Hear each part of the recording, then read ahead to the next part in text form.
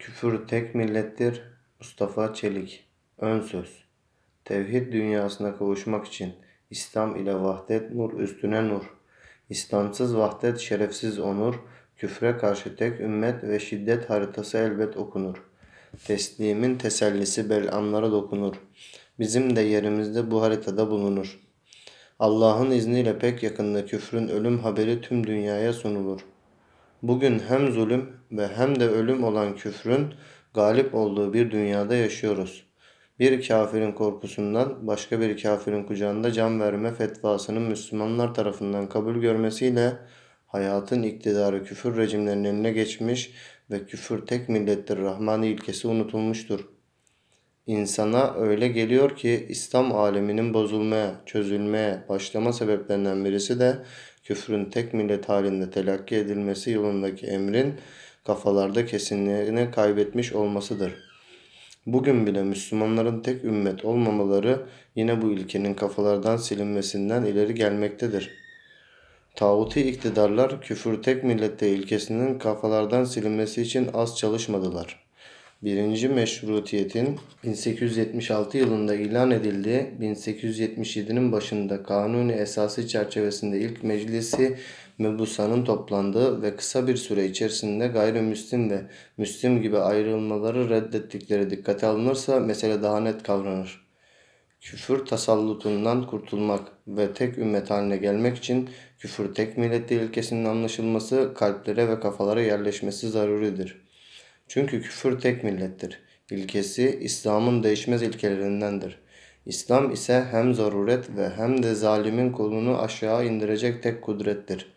Bu münasebetle incelememizde küfür tek millette ilkesinin ispat ve izahı için müfessirleri, muhaddisleri ve fakihleri konuşturarak şeytan suratlı belamların fetvalarının merdutluğunu ortaya koyduk. Hedef küfre karşı tek ümmet ve şiddet halinde gelmektedir. Hatalar bize, doğrular ise İslam'a aittir. Çalışma bizden, başarı Allah'tandır. Birinci bölüm Küfür Küfür kelimesi Kur'an mektebinin kavramlarından bir kavramdır. Allah Celle Celaluhu hayat rehberimiz Kur'an'da şöyle buyuruyor. Şüphesiz küfür edenleri korkutsan da korkutmasan da onlar müsavidir. Çünkü onlar iman etmezler. Küfür çoğulu küffar veya keferedir. Kadın için kafirenin çoğulu kevafirdir. Lugat manası gizlemek ve örtmektir. Şeriat manası Hz. Resul-i Ekrem Efendimizin Cenab-ı Allah tarafından getirip tebliğ ettiği katiyen malum olan bir cümle ahkamı veyahut onlardan birini inkardır. Çünkü İslam kanunlarından birini inkar etmek hepsini inkar etmek gibidir. İslam kanunlarından birini iptal etmek hepsini iptal etmek demektir. Küfür, zulüm, sapıklık, isyan, nankörlük ve cinayettir nefsinde fıtraten mevcut olan ruhta muhafaza edilen bir şeyi saklamış olması dolayısıyla Allah'ı inkar eden kimseye kafir denir. Küfür tekziptir, istikbardır, ırazdır, şek ve inkardır. Küfür cehalettir, gaflettir, delalettir, sefalettir, vahşet ve rezalettir. Alleme Kadı Beyzavi rahmetullahi aleyh der ki, her kim İslam'ı hakir görürse küfre azmetmiş olur. Küfür fıtrata hakaret, hakka hıyanet, beşeriyeti ibadettir. Başka bir ifadeyle küfür hakkı ifa, batılı ise ishardır. Küfür mürtetliktir, müstekbirliktir, cedvekarlıktır, sihirbazlıktır, madrabazlıktır, mülhitliktir, kavmiyetçiliktir, ırkçılıktır, mukallitçiliktir. Küfür iftiradır, irticadır, ibadır, ihzadır, istihfaftır, tahriftir, tebdildir, ilhat ve hurafadır. Küfür hem bidat ve hem de batıda ricattır. Küfür hem şek ve hem de şirktir. Küfür hakkın idaresinden çıkıp halkın idaresine girmektir. Yani Allah Celle Celaluhu inzal ettiği hükümlerle hüküm etmemektir. Allah Celle Celaluhu baki hayat rehberimiz Kur'an'da şöyle buyuruyor. Allah'ın indirdiği hükümlerle hükmetmeyenler var ya, işte onlar kafirlerin ta kendileridir. Ancak bazı belamlar tağutu düzenler adına bu ayetin teviline gitmektedirler. Alleme Kadı Beyzavi rahmetullahi aleyh bu ayetin tefsirinde şöyle der. Allah'ın hükmünü inkar ettikleri için kafir, onu bırakıp hilafıyla hükmettikleri için zalim, Allah'ın hükmünü dışında çıktıkları için de fasıktırlar. Duruma göre bir kişiye bu üç sıfatı vermek caiz oldu. Sanırım bu cümleler şeytan suratlı belamların fetvalarının merdutluğunu ortaya koymaktadır. Küfür şer'an imanın mukabilidir. İmansızlık demektir. Yani bir kimsenin iman şanından olduğu halde iman etmesidir ki tekzip ve inkara ve terki tasdika ve ızdırar ve mani bulunmadığı zaman terki ikrara da şamildir. İmandaki tasdik gibi küfürdeki tekzip dahi kalbi, kavli veya fiili olur. Tekzibi kalbi nasıl küfür ise bila ıstırar mecbur olmadan tekzibi kavli de, kavli de öyledir. Yani Allahu Teala'nın varlığını veya hükümlerini gerek kavli veya gerekse kalbi olarak inkar etmek küfürdür. Küfür insan amelinin insan için olmasıdır. Kanun helal, haram, emir, nehi hakkını Allah'tan başkasına vermektir. Bir de Resulullah'ın sünnetini kabul ve itiraf etmemektir. Sünneti hafif görmek ve inkar etmek küfürdür. Çünkü sünnet bütün ülemayı dinin yanında ahkamı şerriyeden bir tane olduğundan ittifak edilmiştir. Dolayısıyla sünneti red ve inkar edenler ahkamı şerriyeyi red ve inkar ettiklerinden kafirdirler. Küfrün hülasası Allah'ı ve vahdaniyetini veyahut inzal ettiği ayetlerden ve kitaplardan birini veya cümlesini veyahut Resul-i Kiram'dan birini veya hepsini inkar etmektir. Kısacası küfür hakkı batıla, batılı da hakka karıştırmaktır. Beşeri bir sistemi İslam ile boyamaktır. Şunu unutmayalım ki İslami sosyalizm, İslami kapitalizm, İslami demokrasi vs gibi iddialar Allahu Teala'ya eş koşmaktır ve şüphe götürmez küfürdür. İslam tamdır, hiçbir beşeri sisteme ihtiyacı yoktur. İslam'ın beşeri sistemlere ihtiyacı olduğunu söyleyenler veya iddia edenler küfür çeşitlerine ve muhtelif şekildeki görüntülerine kendilerini kaptıranlardır. Dolayısıyla diyoruz ki küfrün tam anlaşılması çeşitlerin tam olarak anlaşılmasına bağlıdır. Küfür çeşitleri Bilindiği gibi küfür bir dünya, dünya görüşüdür. Küfür temeli heva ve hevese dayanan bir yaşam biçimidir. Küfürde esas olan insanın insana tapmasıdır. Başka bir ifadeyle küfür Allahu Teala'nın sıfatlarını insanlara ortak kılmaktır. Küfür hayatı vahyin elinden alıp heva ve hevese kayıtsız şartsız teslim etme cinayetidir. İslam dinine uymayan iktidarlar beslemeye, Cenab-ı Allah'a inanmamaya, ona ortak koşmaya, yakışmayacak sıfatları var demeye, onun varlığını, birliğini, emirlerini ve yasaklarını inkar etmeye, dinsizliğe, imansızlığa, zındıklığa, şüphe, cehalet ve inkar gibi sebeplere iman edilmesi gereken şeylere iman etmemeye ve dinden çıkmaya vasıta olan sözler söylemeye küfür denir. Dinimiz İslam'a göre tazim ve saygı gösterilmesi lazım olan yine dinimizce mübarek, mukaddes ve değerli bulunan şeylerden birine dinden çıkmaya sebep teşkil eden sözlere reva görüp söylemeye küfür kelimesi kelime-i küfür denir. İslam uleması gerek küfrün meydana geliş şekli ve gerekse sebep ve yeri itibariyle küfrü beş kısma ayırmışlardır. Bu arada bazı İslam alimleri de küfür çeşitlerini dört ile sınırlandırmışlar. Hatta bu konuda Seyyid Şerif Cürcani rahmetullahi aleyh Fi Beyanı Envaül Küfür adında bir eser bile kaleme almıştır. Şunu unutmayalım ki küfür bir çeşit değildir, küfrün çeşitleri birden fazladır. Ve hepsi de aynı kapıya vararak kişinin imanını yok edip her şeyini yıkar. Küfür çeşidinin hepsi insanın düşmanı ve kişinin felaket tuzağıdır. Dolayısıyla küfrün tuzaklarına düşmemek için küfrün çeşitlerini öğrenmeliyiz küfrün çeşitlerini şu şekilde sıralayıp izah etmek mümkündür. Küfrü inkarı Küfrü inkarı kalben ve lisanen Allah'ı inkar edip tevhidden hiçbir şey itiraf etmemektir. Başka bir ifadeyle küfrü inkarı Allah'ı, Hazreti Peygamberi ve onun Allah'tan getirmiş olduğu esasları kişinin kalbiyle kabullenmemesi, diliyle de inkar etmesi, iman ishar etmemesidir. Kur'an-ı Kerim'de haklarında şu muhakkak ki küfredenleri korkutsan da korkutmasan da onlar müsavidir. Onlar iman etmezler buyurulan inkarcı grubun küfrü bu tip küfürdür. İnkar küfür, Cenab-ı Allah'ın varlığını, birliğini, ortağının ve benzerinin olmadığını, emir ve yasaklarını, daha doğrusu ahkamını bilmeyi ve kabul etmeyi asla istememek, bile bile görmemezlikten gelerek itiraf etmemektir.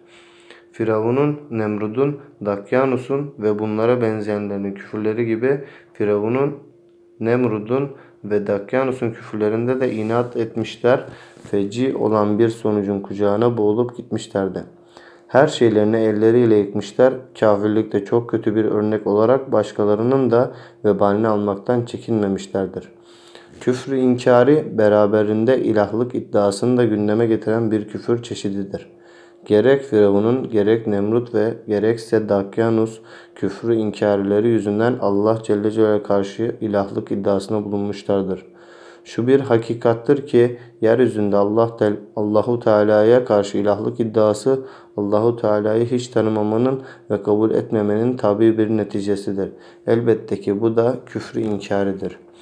Küfrü cuhudi Allahu Teala'yı kalben bilmesi ve fakat lisanıyla itiraf etmemesi.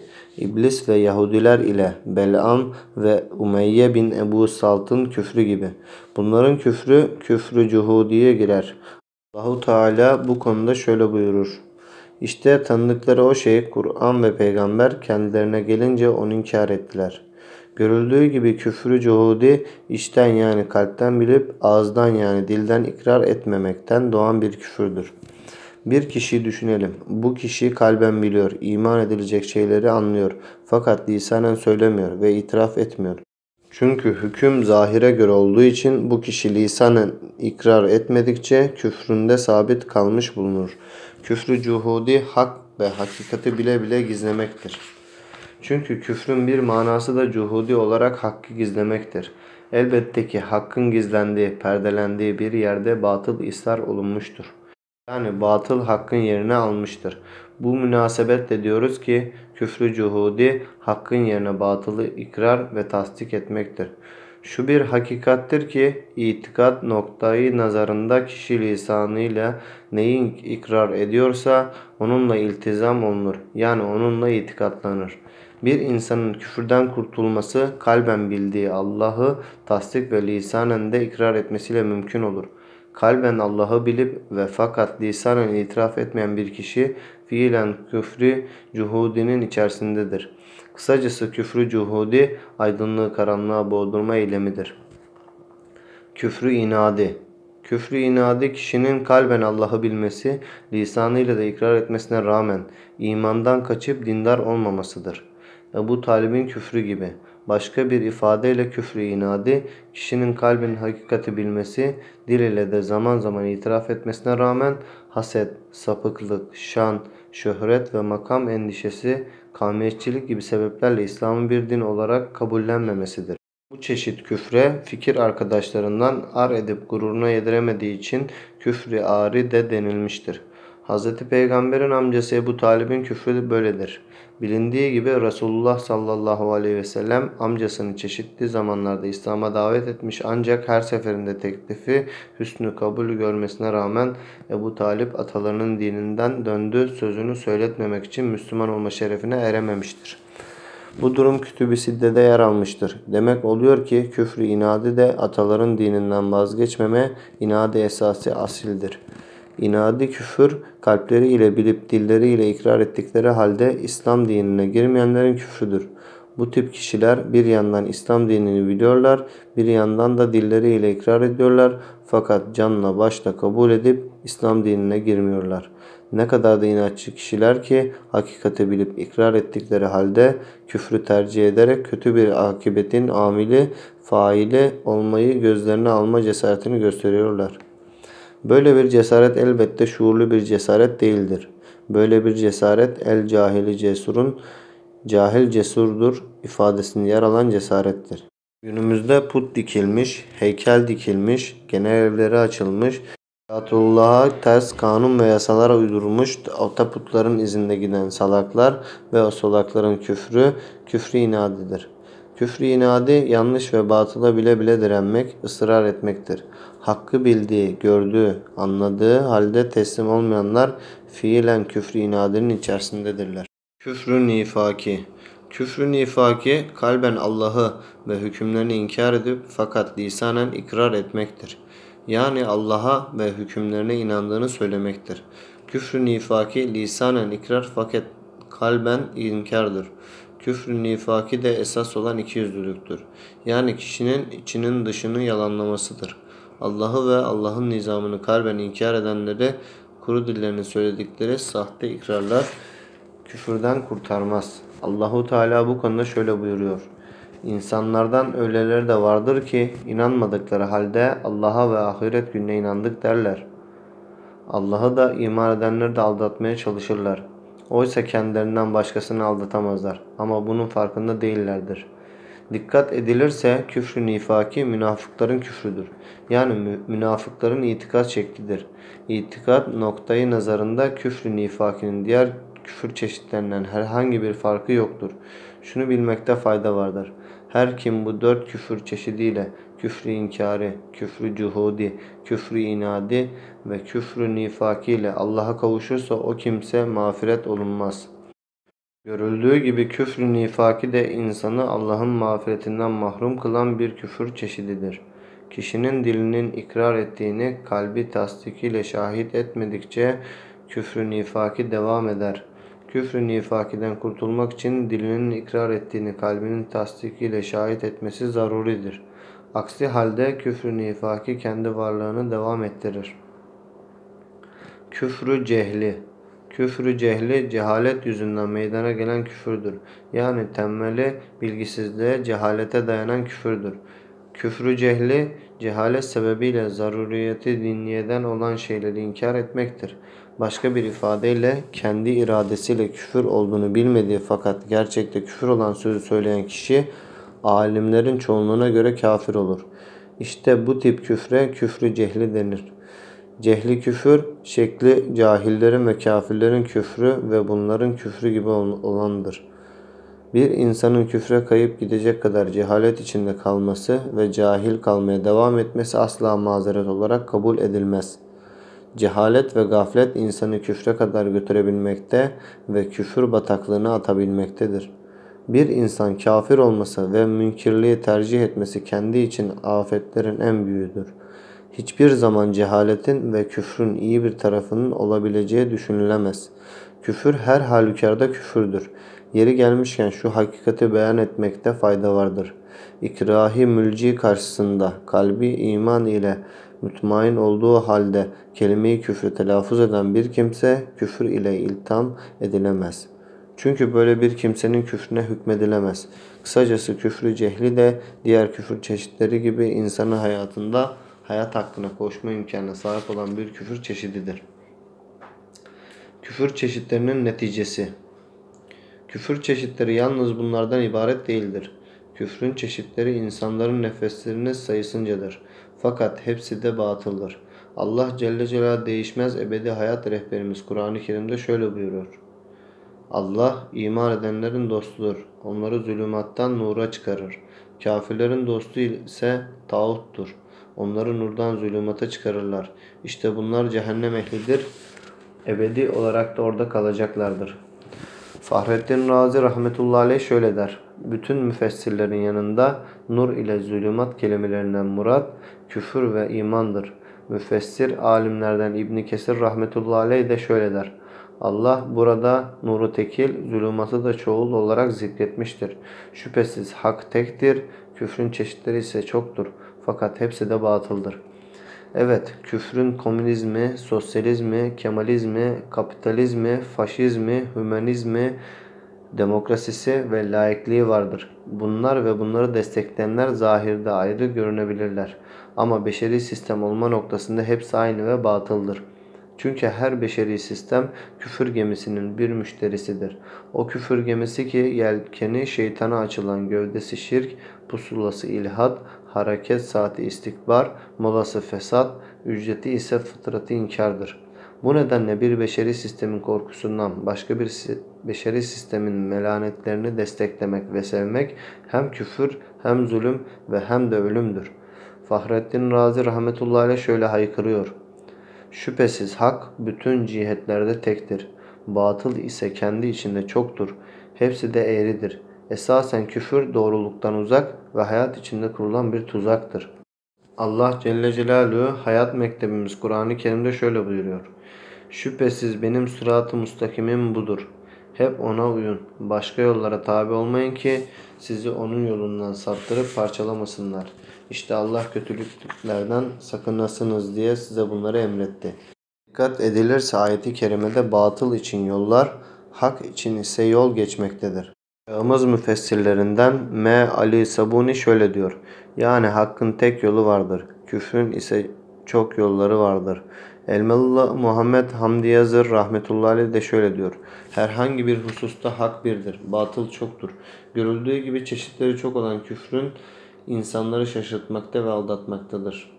Kısacası bütün çeşitleriyle küfür hem zulüm ve hem de ölümdür. Küfre rıza küfürdür. Bilindiği gibi küfür, inkarı ve inadi parçalardan meydana gelmiş bir bütündür. Küfrün bir parçasına rıza göstermek, küfrü, küfrün hepsine rıza göstermek gibidir.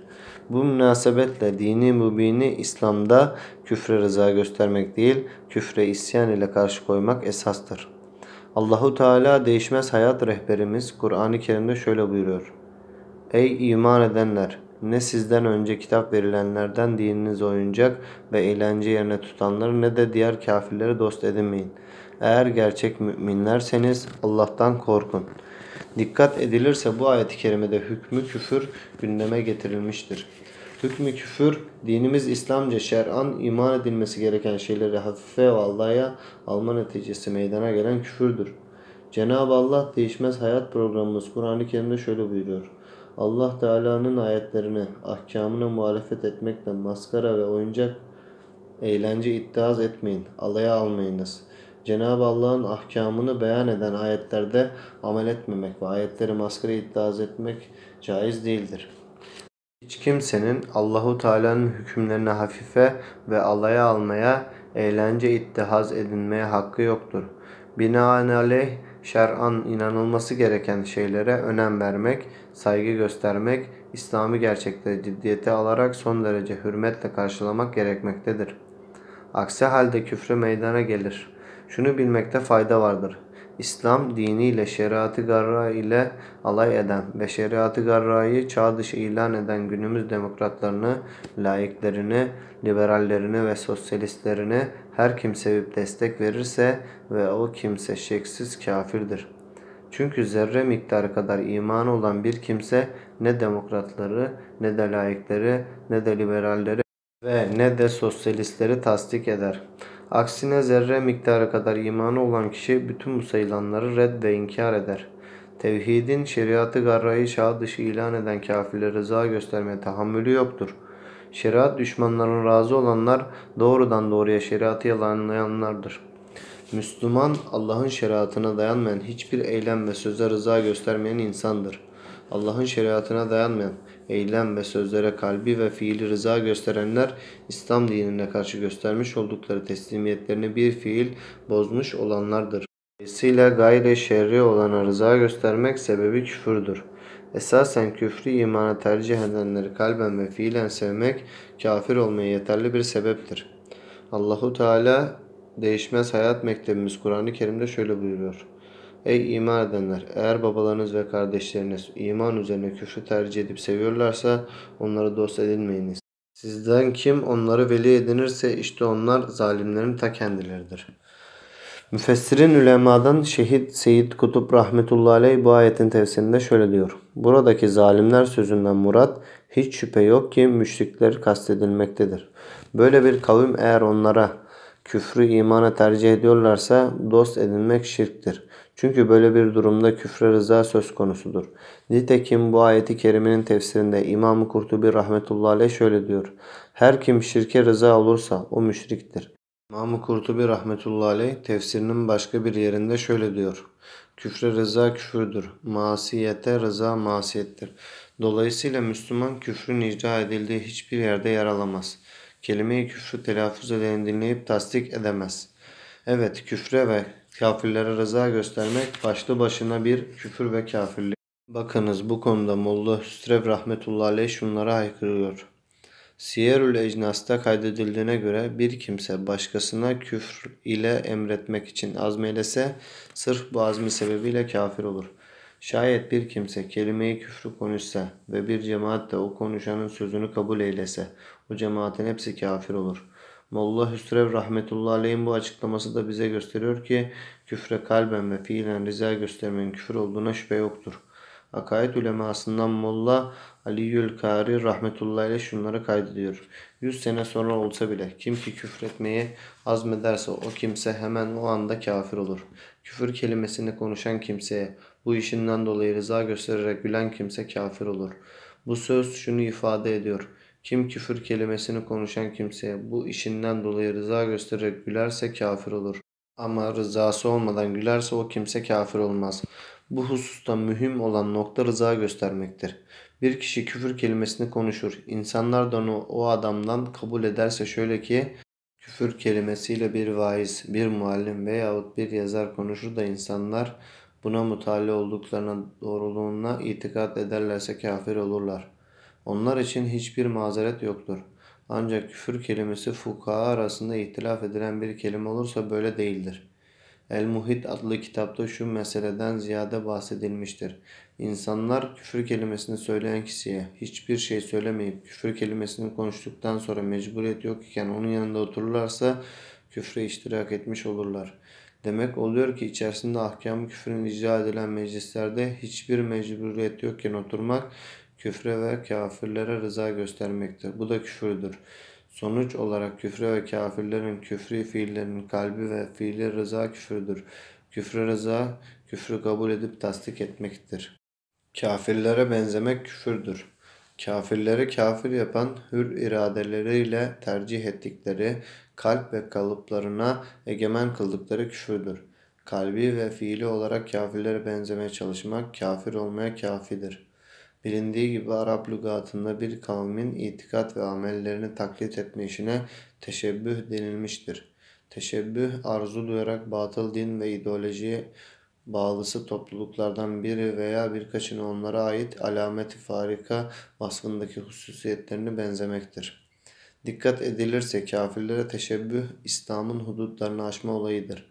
Yani kafirlere benzemek İslam'ın hudutlarından çıkıp batılın hudutlarına ayak basmaktır. Ferdi, ailevi ve içtimai hayatta İslam'ın çerçevesini aşmaya, ilahi yasaları ihlale sebep olan her bir sözü, davranışı ve işi Allah ve onun peygamberi yasaklamıştır. Nitekim bu konuda şanlı önderimiz Hz. Muhammed sallallahu aleyhi ve sellem şöyle buyuruyor. Her kim bir kavmeye benzemeye özenirse o da onlardandır. İslam uleması yukarıdaki hadis-i şerifin ışığında kafirlere benzemenin hükmünü izah etmişlerdir. Gümüşhanevi rahmetullahi aleyh bu konuda şöyle diyor. Kafirler arasında yerleşip bina yapan, onların bayramlarına iştirak eden ve onlara benzeyen kişi bu hal üzere öldüğünde kıyamet günü onlara, onlarla haşrolunur.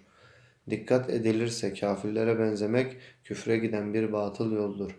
Kafirlere benzemek İslam dininden vazgeçip batıl ve muharref dinlere intikal etmenin alametidir. Biz Müslümanlar kafirlere benzemekten, yaşayışları reddedilmiş olan bidat ehline uymaktan nehyedildik. Kendisini mizah ve şaka yolu ile suret ve sireten Yahudi ve Hristiyanlara benzetirse kafir olur. Sırrı Paşa rahmetullahi aleyh bu konuda şunları kaydediyor. Bele zünnar, papazların bellerine bağladıkları kuşağı, bağlamak gibi bazı meası, günahlar dahi var ki Hz. Şari şeriatın sahibi olanları alamet ve emareti tekziben addetmiş, saymış. Bu da edille-i şerriye ile bilinmiş olduğundan Ümmü Silli measinin mürtekibi günahlarının failinin kafir olduğundan ihtilaf yoktur. Görüldüğü gibi dini mübini İslam'a göre şerri şerefi tekzibe alamet olan herhangi bir davranışı kafirlere özenerek işlemek küfürdür. İslam ulemasından şehit İskilipli Atıf Hoca rahmetullahi aleyh yukarıdaki hadis-i şerifin ışığında şunları söylüyor. Bu hadis-i şerif mantuku itibariyle adetlerinde ve yaşayışlarında gayrimüslim milletlere benzemekten kaçınmayı mutazzamın olduğu gibi suret ve siretlerinde Müslümanların en iyilerine benzetmeyi de ifade etmektedir. Şu halde bu hadis-i şerifin yüce manasınca Müslüman küfür adet ve yolu, çirkin bidat alameti sayılan şeylerde kafirlere ve çirkin bidat sahiplerine teşebbüh benzetmekten men nehi olmuştur. Bir Müslümanın küfür, adet ve alameti sayılan bir şeyi zaruret olmadan giyinmek veya takınmak suretiyle gayrimüslimlere taklidi ve kendisini onlara benzetmesi şer'an yasaktır. Bu hususta icmai ümmet dahi innikat etmiştir. Bunda hiçbir şüphe yoktur. Teşebbüh, başkalarının yaptığı bir işi onlara tabi olarak yapmak demektir. Şu halde hadis-i şerifin manası bir millete benzemeye özenenler, benzemek istenilen ortak değerde olanlardır. O ortak değer küfür ise küfürde, masiyet ise masiyette, salah hal ise salahta, bunların adeti ise adette o milletin hükmüne tabi olurlar demektir. Evet, kafirlere kalbi ve fiili olarak benzemek başlı başına bir küfürdür. Şu bir hakikattir ki Müslümanlara benzeyen kişi Müslümanlardandır. Kafirlere benzeyen kişi de kafirlerdendir. İslam ulemasından manevi rahmetullahi aleyh özetle şöyle diyor. İçi dışını onaylar bir şekilde bir kişi toplumun adetlerini benimser, onların ahlaki ile ahlaklanır, onlara has işleri yapmakla tanınır, kılık kıyafette ve benzeri bazı işlerde onlarla bütünleşirse onlardan olmuş olur. İmanlı ve ahlaklı kişilere benzemeye çalışan kişi de pek tabii ki onlardandır. Onlara saygı duyulduğu gibi ona da saygı duyulur. Büyük günahları açıktan işleyen fasıklara benzeyen kişi de hiç şüphesiz onlar gibi küçümsenir ve aşağılanır. Yücelik nişanını takınan kişi bir fiil yücelmemiş olsa da ikram görür. Açıktan büyük günahları işleyen kişilerin kendilerine has giysileri olsa diğer insanlar bu giysileri giymekten yasaklanır. Çünkü bu durumda tanınmayan kişi onların giysisini giyen kişiyi onlardan sanabilir. Bu da hem zanda bulunan kişiyi günahkar kılar hem de böylesine bir kötü zanna sebebiyet veren kişi günahkar olur. Benzeşmeler, inançlar ve arzular gibi kalbi tasarruflarda olduğu gibi sözler ve işler gibi duyulur, görülür ve nevinden hususlarda olabilir. Yemek, içmek, giyinmek, eve dinmek, evlenmek, birleşmek, ayrılmak, binmek, inmek gibi adetler de gerçekleşebilir. Allah Hz. Muhammed sallallahu aleyhi ve sellem'i hikmetle, sünnet, şeriat ve minhaçla göndermiştir. Bu şeriatta Yahudiler ve Hristiyanların semaviliğini yitirmiş, değer yargıları ve hayat tarzına muhalif ve yepyeni kanunlar koymuştur.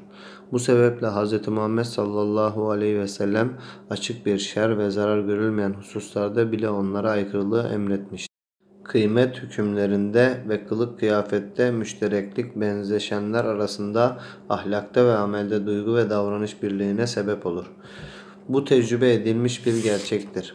Mesela ilim adamlarının toplumca bilinen giysilerini giyinen kişi onlara katıldığı duygusu taşır.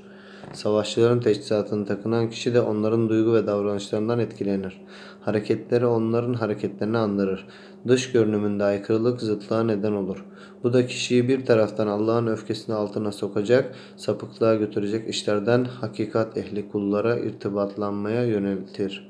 Zahirde benzerlik karışma da sebep olur. Artık Müslümanlarla batıl din ve ideoloji mensuplarını ilk bakışta ve pek çok hususta ayırmak da çok zor olur. Bu nedenle İbni Teymiye rahmetullahi şöyle der. Her ne kadar sizden Yahudi ve Hristiyanları dost edinen kişi onlardandır anlamındaki ayet-i kerime onlara benzeyenin kafirlerini işaret ediyorsa da bu hadis ve benzeri gayrimüslimlerle en basit ahvalde benzerliğin bile haram olacağını delalet etmektedir. Kısacası benzeme küfürde ise küfür, haramda ise haram, şiarda ise şiarın hükmü tahakkuk eder. Şunu bilmekte fayda vardır. Müslümanların itikat ve amellerine, kafirlerin itikat ve amellerine benzemez. Bu nedenle Müslümanlar her yerde ve her zaman itikaden ve amelen kafirlerden farklı, haklı olduklarını ortaya koymakla mükelleftirler. İtikat ve amelde kafirlere benzeyenler kafirler gibi olurlar. Çünkü itikaden ve amelen kafirlere benzemek küfürdür. Müslümanı tekfir etmek küfürdür. Yeryüzünde tağutu teskip ederek Allah'a iman etmiş bir Müslümanı küfürle damgalamak küfürdür. Çünkü böyle bir durumda küfrü kuvvetlendirip güçlendirme söz konusudur. İslam'a göre küfrü kuvvetlendirip güçlendiren her emare küfürdür. İman esaslarını riayet ederek Müslüman olmuş ve hayatında elfazı küfür ile efali küfür meydana gelmemiş bir kişi sırf bir başkasının sen kafirsin sözüyle kafir olmaz. Aksine böyle birisine sen kafirsin diyen kişi kafir olur. Bakınız bu konuda şanlı önderimiz Hz. Muhammed sallallahu aleyhi ve sellem şöyle buyuruyor. Kim bir insanı kafir diye çağırırsa yahut öyle olmadığı halde ey Allah'ın düşmanı derse söylediği söz kendisine döner. Mümine lalet etmek onu öldürmek gibidir. Bir mümini küfür ile itham eden onu öldürmüş gibi olur. Bizim gibi namaz kılan, kıblemize yönelen ve kestiğimizi yiyen kimse Allah'ın ve Resulünün teminatını elde etmiş kabul edilir. O halde böylelerini öldürmek suretiyle Allah'ın verdiği teminat ve ahdi bozmayın. Bir insan Müslüman kardeşine ey kafir diye hitap ettiği zaman ikisinden biri bu söz üzerine almış. Şayet söylediği gibi küfür onda kalır değilse söyleyene döner. Bir kimse Müslüman kardeşini tekfir ederse küfür tekfir edilen veya edenden birinin üzerine döner. Bu hadisi şeriflere dikkate alan İslam uleması Müslümanlara karşı ileri sürülen tevilsiz tekfirin küfür olduğu hususunda görüş birliği içerisindedirler. Müslümanı tekfir etmenin küfür olmasının birçok sebebi vardır. Ancak en büyük sebep imana taarruzdur. Bakınız bu konuda Said Havva rahmetullahi aleyh şöyle diyor. Her kim bir mümini kafirlikle damgalarsa şüphesiz kafir olur. Bir mümini kafirlikle suçlamanın küfre yol açmasının sebebi bu suçlamanın iman özüne karşı girişilmiş bir saldırı niteliği taşımasıdır. Bu nedenle İslam alimleri sürekli Müslümandan küfür ithamını iptal eden söz ve davranışları önlem vermişlerdir. Bakınız bu konuda İbni Abidin rahmetullahi aleyh şöyle diyor. Müslümandan küfür ithamı düşüren her söz tercihe daha layıktır. Velev ki zayıf olsa bile. Unutmayalım ki Müslümanı tekfirde gayret edenler küfre eleman kazandırmada gayret gösterenlerdir. La ilahe illallah Muhammedun Resulullah dedikleri ve bununla tenakuz teşkil eden bir vaziyette bulunmadıkları müddetçe ehli kıbleye dil uzatmaktan imkan nispetinde sakınmak lazımdır. Çünkü tekfirde tehlike vardır, sükutta yoktur. Tekfir, tekfir edilenin malının alınması, kanının dökülmesi, cehennemde ebedi kalınmasına hükmedilmesi gibi önemli hukuki neticeler doğuran şerri bir hükümdür. Bu münasebetle Müslümanlar hakkında rastgele tekfirden uzaklaşılmalıdır. Aksi halde kişi Müslümanı tekfir etmek suretiyle kendi imanını kaybeder. Elbette ki kendi imanını kaybeden bir kimse iman yerine küfre sahip olmuş olur. Evet İslam'a teslim olan teslimsizlikle itham etmek teslimsizliğin ta kendisidir. İslam'a karşı teslimiyetsizlik de küfrün ta kendisidir. İbn Manzur rahmetullahi aleyh bu konuda şöyle diyor. Müslüman kardeşine kafir diyen ya doğru söylemiştir veya yalan söylemiştir. Doğru söylemişse tekfir ettiği şahıs kafir olur. Eğer yalan söylemişse Müslüman olan kardeşini tekfir ettiğinden küfür kendine döner ve kendisi kafir olur. Bu münasebetle haksız yere yani elfazı küfür ve efali küfür hayatında meydana gelmemiş bir Müslümanı küfürle damgalayıp tekfir etmek küfürdür. Bu küfrü işlemeye teşebbüs eden de kafirdir. Kafirleri tekfir etmemek küfürdür. Küfür küfürdür. İslam da İslam'dır. Küfre küfür, İslam'a İslam demek Allah'a imanın alametidir. Açıktan iman esaslarını red ve inkar edenlere kafir demekten kaçınmak, kafirleri küfrüyle birlikte sevip saygı duymak demektir. Küfrü ve kafiri sevip saygı duymak ise Allahu Teala'yı inkar etmekle eşdeğerdir. İslam'a göre iman iddiasında bulunanlar küfrü ve küfrün menbaı sayılan tağutu inkar etmekle mükelleftirler. Allahu Teala değişmez hayat düsturumuz Kur'an-ı Kerim'de şöyle buyuruyor. Sana indirilen Kur'an'a ve senden önce indirilen kitaplara iman ettik diye boş iddiada bulunanlara bakmaz mısın? Onlar tağutun İslam'la çatışan ve çarpışan şahıs, ilke, anayasa ve rejimler ölçüleriyle muhakeme olmak istiyorlar. Halbuki onlar onu tağutu inkar etmekle emrolunmuşlardır. Şeytan ise onları çok uzak bir sapıklığa düşürmek ister. Dikkat edilirse bu ayet-i kerimeye göre Allahu Teala'nın inzal ettiği nizama mukabil ve onun yerine geçmek üzere hukuk ve nizam vaat edenlere tağut dememek, kendilerini reddetmemek tağutluktur. Dolayısıyla kafirleri küfürleriyle basıplandırmaktan kaçınmak küfürdür. Hükmü Kur'an'a muvafık olan bir hükümdür. Kafirleri tekfir etmemek, küfür ile damgalamamak şehadet davasını bozar. Yani imanı bozan durumlardandır. Bakınız bu konuda Said Havva rahmetullahi aleyh şöyle diyor. Şehadet kelimesini reddedenlere kafir saymamak şehadet davası ile çelişen bir durumdur. Bu konudaki genel kaide şudur. Kafiri tekfir etmeyen, kafir saymayan şüphesiz kendisi kafir olur. Her kim de kafirin küfründe şüphe ederse şüphesiz o da kafir olur. Kafirin kafirliğine şüpheyle bakmanın veya onun inanç sistemi doğru görmenin ya da bu inanç sistemini küfre götürücü saymanın küfre yol açması da bu tutumun Allah'ı ve peygamberimizi yalanlama anlamına gelmesinden ötürüdür. Evet, Allahu Teala'yı ve Allahu Teala'nın inzal ettiği sistemi açıktan red ve inkar edenlere kafir dememek başlı başına bir kafirliktir. Çünkü Allah'ı ve Allah'ın kanunlarını açıktan reddedenlere kafir demeyen kişi bu işi yapanın küfrüne rıza göstermektir. Gayrimüslim olan bir kimseye Müslümanın ismini vermektir. Bu da Müslümanı kafir yapacak bir cinayettir. Ahkam-ı şirkin istilası altındaki İslam coğrafyasında kafirleri tekfir etmeme hastalığı şeriat düşmanı layık Müslüman tiplerin çoğalması sebep olmuştur. Şu bir hakikattır ki hem layık hem Müslüman olmak mümkün değildir. Çünkü bir insan ya layıktır ya Müslümandır. Layık Müslüman iddiası iki ayrı ilaha teslimiyetin bir ifadesidir.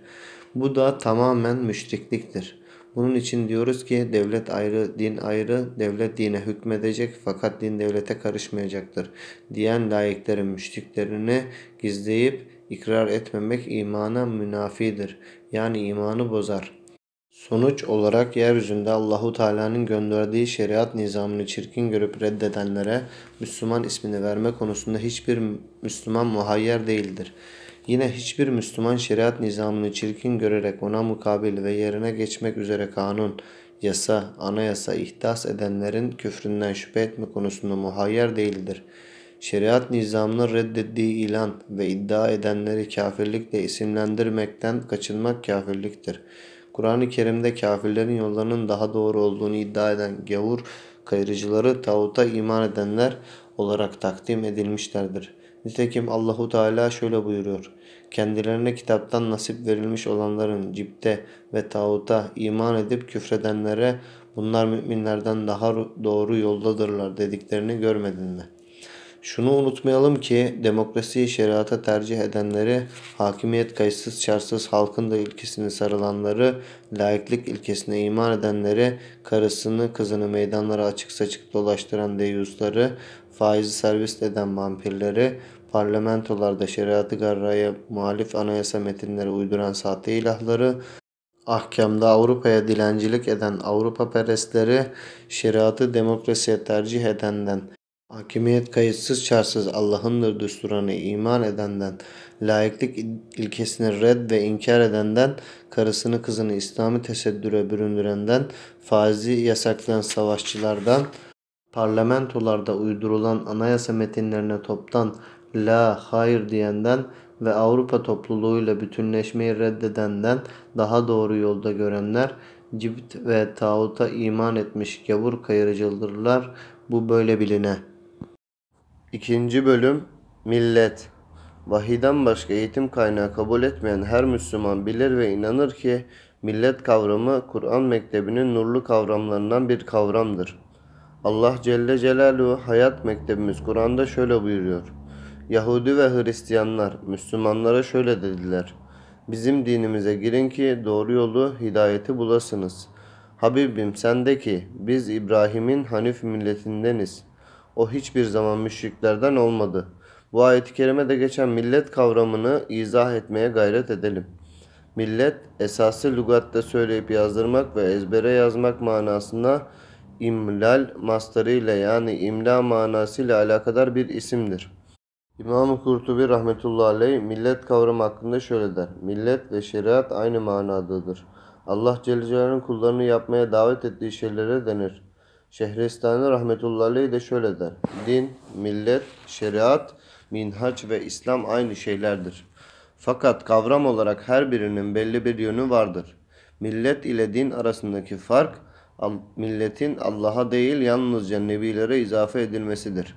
Milleti İbrahim, milleti Muhammed sallallahu aleyhi ve sellem gibi İmam-ı Kurtubi rahmetullahi aleyhi de şöyle der.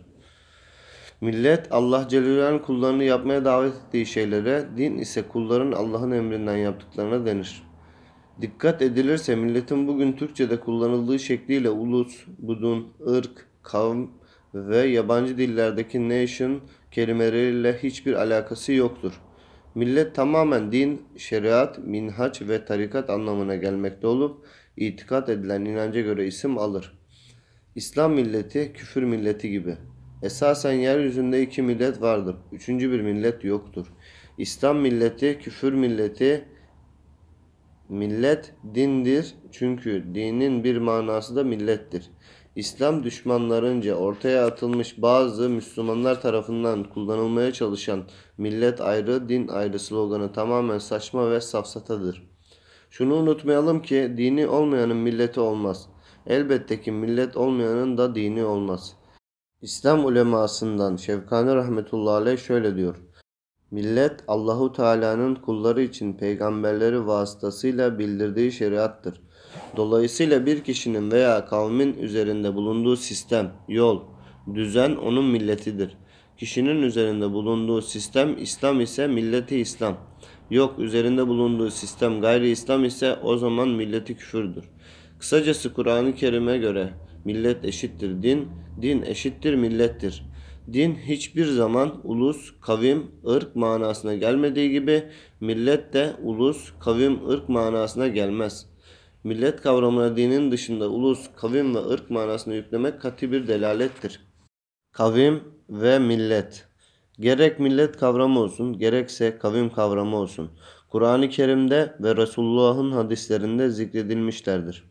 Kur'an-ı Kerim'e ve hadis-i şeriflere göre kavimleri birbirinden farklı olanlar aynı milletten olabilirler. Aynı milletten olanlar da farklı kavimlere mensup olabilirler. Bunun yanında aynı kavimden olup farklı milletten olanlar da olabilir. Örneğin bir kişinin kavmi Türk, milleti ise İslam. Bir başkasının da kavmi Türk, milleti ise küfür olması şer'a mümkündür. Şu bir hakikattir ki bir insanın kavmi, ırkı, milleti değildir milleti de kavmi değildir.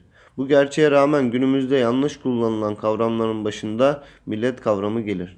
Batılı sosyoloji uzmanlarının dil, ırk, ortak kültür ve ortak tarih özelliklerine sahip insan topluluğu nation kelimesiyle ifade ettiği bilinmektedir.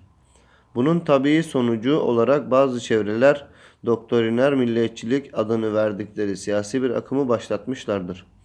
Genel olarak Türk milliyetçiliği diye ifade edilen bu siyasi hareketin mahiyeti malumdur. Millet din manasındadır. Milleti İslamiye, milleti Yahudiye, milleti Nasraniye gibi. Şanlı önderimiz Hz. Muhammed sallallahu aleyhi ve sellem bu konuda şöyle buyuruyor. Her kim İslam milletinden başka bir millet namına kasten yalan olarak yemin ederse o kimse dediği gibidir.'' Bu hadisi şerifin şerhinde Ahmet Davutoğlu rahmetullahi aleyh şunları kaydediyor. Hadisi şerifte geçen millet sözünden murat dindir. Çünkü örfen millet sözünden Allahu Teala'nın peygamberleri vasıtasıyla kullarına meşru kıldığı şey kastedilir. Ancak mecazen batıl dinlerde ıtlak edilerek küfür bir millettir denilir ve küfür dinlerinin hepsi bir yoldur manası kastedilir.'' Millet kelimesi örfen hak dine mahsus olduğu için bazı kelam uleması ehli sünnetin mezhebini naklederken milliler şöyle demiştir ifadesini kullanırlar. Dikkat edilirse millet kavramı kavmin yerine değil dinin yerine kullanılmaktadır. Kur'an-ı Kerim'e göre millet kavmin kendisi değil aksine kavmin dinidir. Kur'an-ı Kerim'de millet kavramı kavim manasında kullanılmıştır. Hatta bir ayet-i kerimede kavim ve millet bir arada kullanılmıştır. Hz. Yusuf Aleyhisselam'ın kıssası beyan edilirken de ki size rızıklanacağınız bir yemek gelecek oldu mu? Ben muhakkak onun ne olduğunu size daha gelmezden evvel haber veririm. Bu Rabbimin bana öğrettiği ilimlerdendir. Çünkü ben Allah'a inanmaz bir kavmin milletini ki onlar ahiret gününü inkar edenlerin ta kendileridir terk ettim hükmünü beyan buyurulmuştur. Burada geçen ben iman etmeyen bir kavmin milletini terk ettim ibaresi kavim ile milletin ayrı ayrı mahiyete sahip olduğunu göstermektedir. Dolayısıyla Türk kavmi vardır ancak Türk milleti şeriatı yoktur. Türk kavmine mensup olan insanlardan mümin olanlar bulunduğu gibi olmayanlar da mevcuttur. Farklı dinlere tabi olmaları onların Türk kavminden olma özelliğini ortadan kaldırmaz. Çünkü insanlar hangi kavimden olacaklarını bizzat kendileri karar veremezler. Ancak hangi milletten, dinden olacakları konusunda irade beyan etme hakları vardır. Ya iman ederek İslam milletinden olurlar veya inkar ederek küfür milletine geçerler. Her Müslüman Türktür ve Türk de Müslümandır tekerlemesi dünyanın en büyük safsatasıdır. İslam dinine göre Türk kavmi, Kürt kavmi, Arap kavmi, Fars kavmi vardır. Ancak İslam dinine göre Türk milleti, Kürt milleti, Arap milleti, Fars milleti yoktur ve olamaz. Çünkü böyle bir durumda karşımıza Türk dini, Kürt dini, Arap dini ve Fars dini çıkar. Oysa ki bir anda birden fazla hak dinin olması mümkün değildir. İslam coğrafyasında Müslümanlar arasında Türk kavmi, Kürt kavmi, Arap kavmi, Fars kavmi gibi ibareleri yerine Türk milleti, Kürt milleti, Arap milleti, Fars milleti gibi ibareler kavmin dininin yerine geçirmeye çalışan müstevli kafirlerin zorlamaları neticesinde kullanılmaya başlanmıştır. Elmalı Muhammed Hamdi Yazır rahmetullahi aleyh şöyle der. Hukuki şahsiyetini tamamlamış ve faaliyete geçmiş bulunan millet, İslam şeriatı lisanında ümmet mevhumuna tekabül eder. Emrullah Efendi merhum ümmet kelimesinin ümmi kelimesiyle ilgili olduğunu zannederek nation tabirini millet diye ifade etmeyi tercih etmişti. O zamandan beri ümmet mevhumu zayi edilmiş ve istifaflı bir telakkiye maruz kalmıştır. Istilahat encümeninde sonradan buluştuğumuz zaman bu kelimenin üm veya ümmi tabiriyle değil imam tabiriyle alakalı bulunduğunu izah etmiş ve kabul ettirmiştim. Ma'a tessüf geçmiş hayatı tahsihe fırsat el vermeden Emrullah Efendi vefat etmişti. Görüldüğü gibi millet ortak bir itikada sahip olmakla birlikte bir iman etrafında toplanmayan fertlerin durumunu beyan eder. Her Müslüman İslam milletinin bir ferdidir. Eğer bir imama biat ederlerse ümmet olarak anılırlar. Dünya üzerinde yüzlerce kavim vardır. Bu kavimlerin fertleri içerisinde İslam milletine tabi olanlar bulunduğu gibi küfür milletine olanlar da rastlanabilir. Dolayısıyla yeryüzünde iki millet vardır. Birisi İslam milleti, diğeri de küfür milletidir. Resul-i Ekrem sallallahu aleyhi ve sellem Hazreti Ebu Ducane'yi mezara koyarken Bismillah ala millete Resulullah demiştir. Hangi kavimden olursa olsun her mümin mezara konulurken aynı sözler tekrar edilir. Bu mahiyet iyi tefekkür edilmelidir. Bu noktada efendim bugün millet ıstılahı saptırılmış ve ırk anlamına kullanılmaya başlanmıştır. Arap milleti, Türk milleti vesaire gibi sözler kullanılmaktadır. Şeklinde bir itiraza muhatap olabiliriz. Bu itirazı yapanlar zahiren haklıdırlar. Çünkü bir vaka ancak müminler kitap, sünnet ve sahabe-i kiramın icma ile sabit olan millet ıstılahını doğru olarak kullanmaya mecburdurlar. Aksi halde kendi dinlerine oyun ve eğlence haline getirmiş olurlar. Şunu unutmayalım ki Kur'an'ı kavramları müstevli kafirlerin istek ve arzuları doğrultusunda kullananlar kendi dinleriyle alay edenlerdir. Sonuç olarak Müslümanların milleti Kürt, Türk, Arap, Fars, Çerkez değil sadece ve sadece İslam'dır. Elbette ki kafirlerin de milleti Türk, Kürt, Arap, Fars, Çerkez değil sadece ve sadece küfürdür. Biz Müslümanlara düşen görev kavim ile millet kavramlarının arasındaki sınırı muhafaza etmektir. Yani kavmi millete, milleti de kavme karıştırmamaktır. Küfür kaç millettir? İslam küfrün kaç millet olduğunu asırlar önce ortaya koymuştur. Çünkü İslam hararet değil harekettir. Hayal değil hayattır. Allah Celle Celaluhu değişmez hayat rehberimiz Kur'an-ı Kerim'de şöyle buyuruyor. Ey iman edenler! Yahudilerle Hristiyanları dost edinmeyin. Onlar birbirlerinin dostlarıdır. İçinizden kim onları dost edinirse o da onlardandır. Allah zalimleri hidayet erdirmez. Burada müminler Yahudi ve Hristiyanlara karşı ebedi düşman oldukları konusunda uyarılmışlardır. Bilindiği gibi dünyada Hristiyan cepheyi şeytan Amerika, Yahudi cepheyi de Azazil şeytan İsrail temsil etmektedir. Diğer tarafta komünizmi temsil eden İblis Rusya ve yandaşları vardır. Bazı belamlar yukarıdaki ayeti kerimeye hıyanet ederek İblis Rusya'nın korkusundan şeytan Amerika'yı destekleme ve sevme fetvasını ortaya atmışlardır.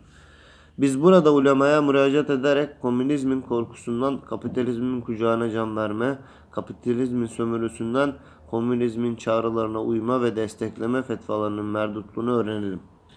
Yukarıdaki ayet-i kerimenin tefsirinde Nesefi rahmetullah aleyh şöyle der. Küfür tek millet olduğuna Kur'an'dan bu ayet delalet etmektedir. Yani küfrün tek millet olduğunun delili bu ayettir. Me Ali Sabuni de tefsirinde şöyle diyor. Onlar Müslümanlar üzerine tek eldir. Onlar küfür ve delalette dost edinmeyin. Milleti küfür tektir. Bir küfrü başka bir küfre tercih etmek de küfürdür. Küfür her mekanda küfürdür. Küfür iyisi veya kabul edilecek bir yanı veya yönü yoktur. Şehit Seyyid Kutup rahmetullahi aleyh şöyle der. Kim küfrü imana tercih eden baba ve kardeşlerini severse o müşrik olur. Müşrik olma tehlikesinden kurtulmak için daima küfrün vahid, tek millet olduğunu bilerek ve inanarak hareket etmeliyiz. Aksi takdirde şirk denizinde yüzeriz. Allahu Teala ezeli ve ebedi hayat düsturumuz Kur'an-ı Kerim'de şöyle buyuruyor. Sen Yahudi ve Hristiyanların milletine tabi olmadıkça senden razı olmazlar. De ki yol Allah'ın yoludur, hidayettir, İslam'dır. Sana gelen ilimden sonra heva ve hevesine tabi olursan Allah'ın azabından seni koruyacak hiçbir dost ve yardımcı yoktur. Bu ayette suretten hitap serveri kainatıdır. Lakin murat ümmetidir. Burada dikkat edilecek başka bir husus Yahudiler ve Hristiyanlar anıldığı halde millet kelimesinin tekil olarak anılmasıdır. Yani onlar tek millet olarak kabul edilmişlerdir. Baki önderimiz Hz. Muhammed sallallahu aleyhi ve sellem bir hadisi şerifinde şöyle buyuruyor. Müslüman kafire, kafir de Müslümana mirasçı olamaz. Şarih şerhinde küfür tek millettir der. İbn Kesir rahmetullahi aleyh yukarıda ayetin tefsirinde şöyle diyor. Ayette millet kelimesi tekil olarak geçiyor. Çünkü küfür tek millettir. İsmail Bursevi rahmetullahi aleyh de şöyle diyor. Ayette millet kelimesi tekil olarak zikredilmiştir. Şüphesiz küfür tek millettir. İmam-ı Kurtubi rahmetullahi aleyh de şöyle diyor. Ulema cemaatinden Ebu Hanife, Şafi, Davud ve Ahmet bin Hanbel bu ayette yapışarak küfrün küllisi tek millettir. Hükmüne kail oldular. O halde ey Müslüman batıya gitme batarsın. Kuzeye dönme donarsın. Güneye meyillenme çatlarsın. Doğa, doğuya yönelme patlarsın. Hayat nizamı İslam'a gel güneş gibi doğarsın. Görüntüsü rengi ne olursa olsun ister sosyalizm, ister kemalizm, ister kapitalizm, ister demokrasi, ister laiklik, ister ırkçılık, ister bir başka bir izim olsun fark etmez. İlahi dinin dışındaki bütün izimler tek millettir. Milleti küfürdür. Aslında küfrün belli bir rengi yoktur. Küfür her çağ ve mekanda bu kalemundur.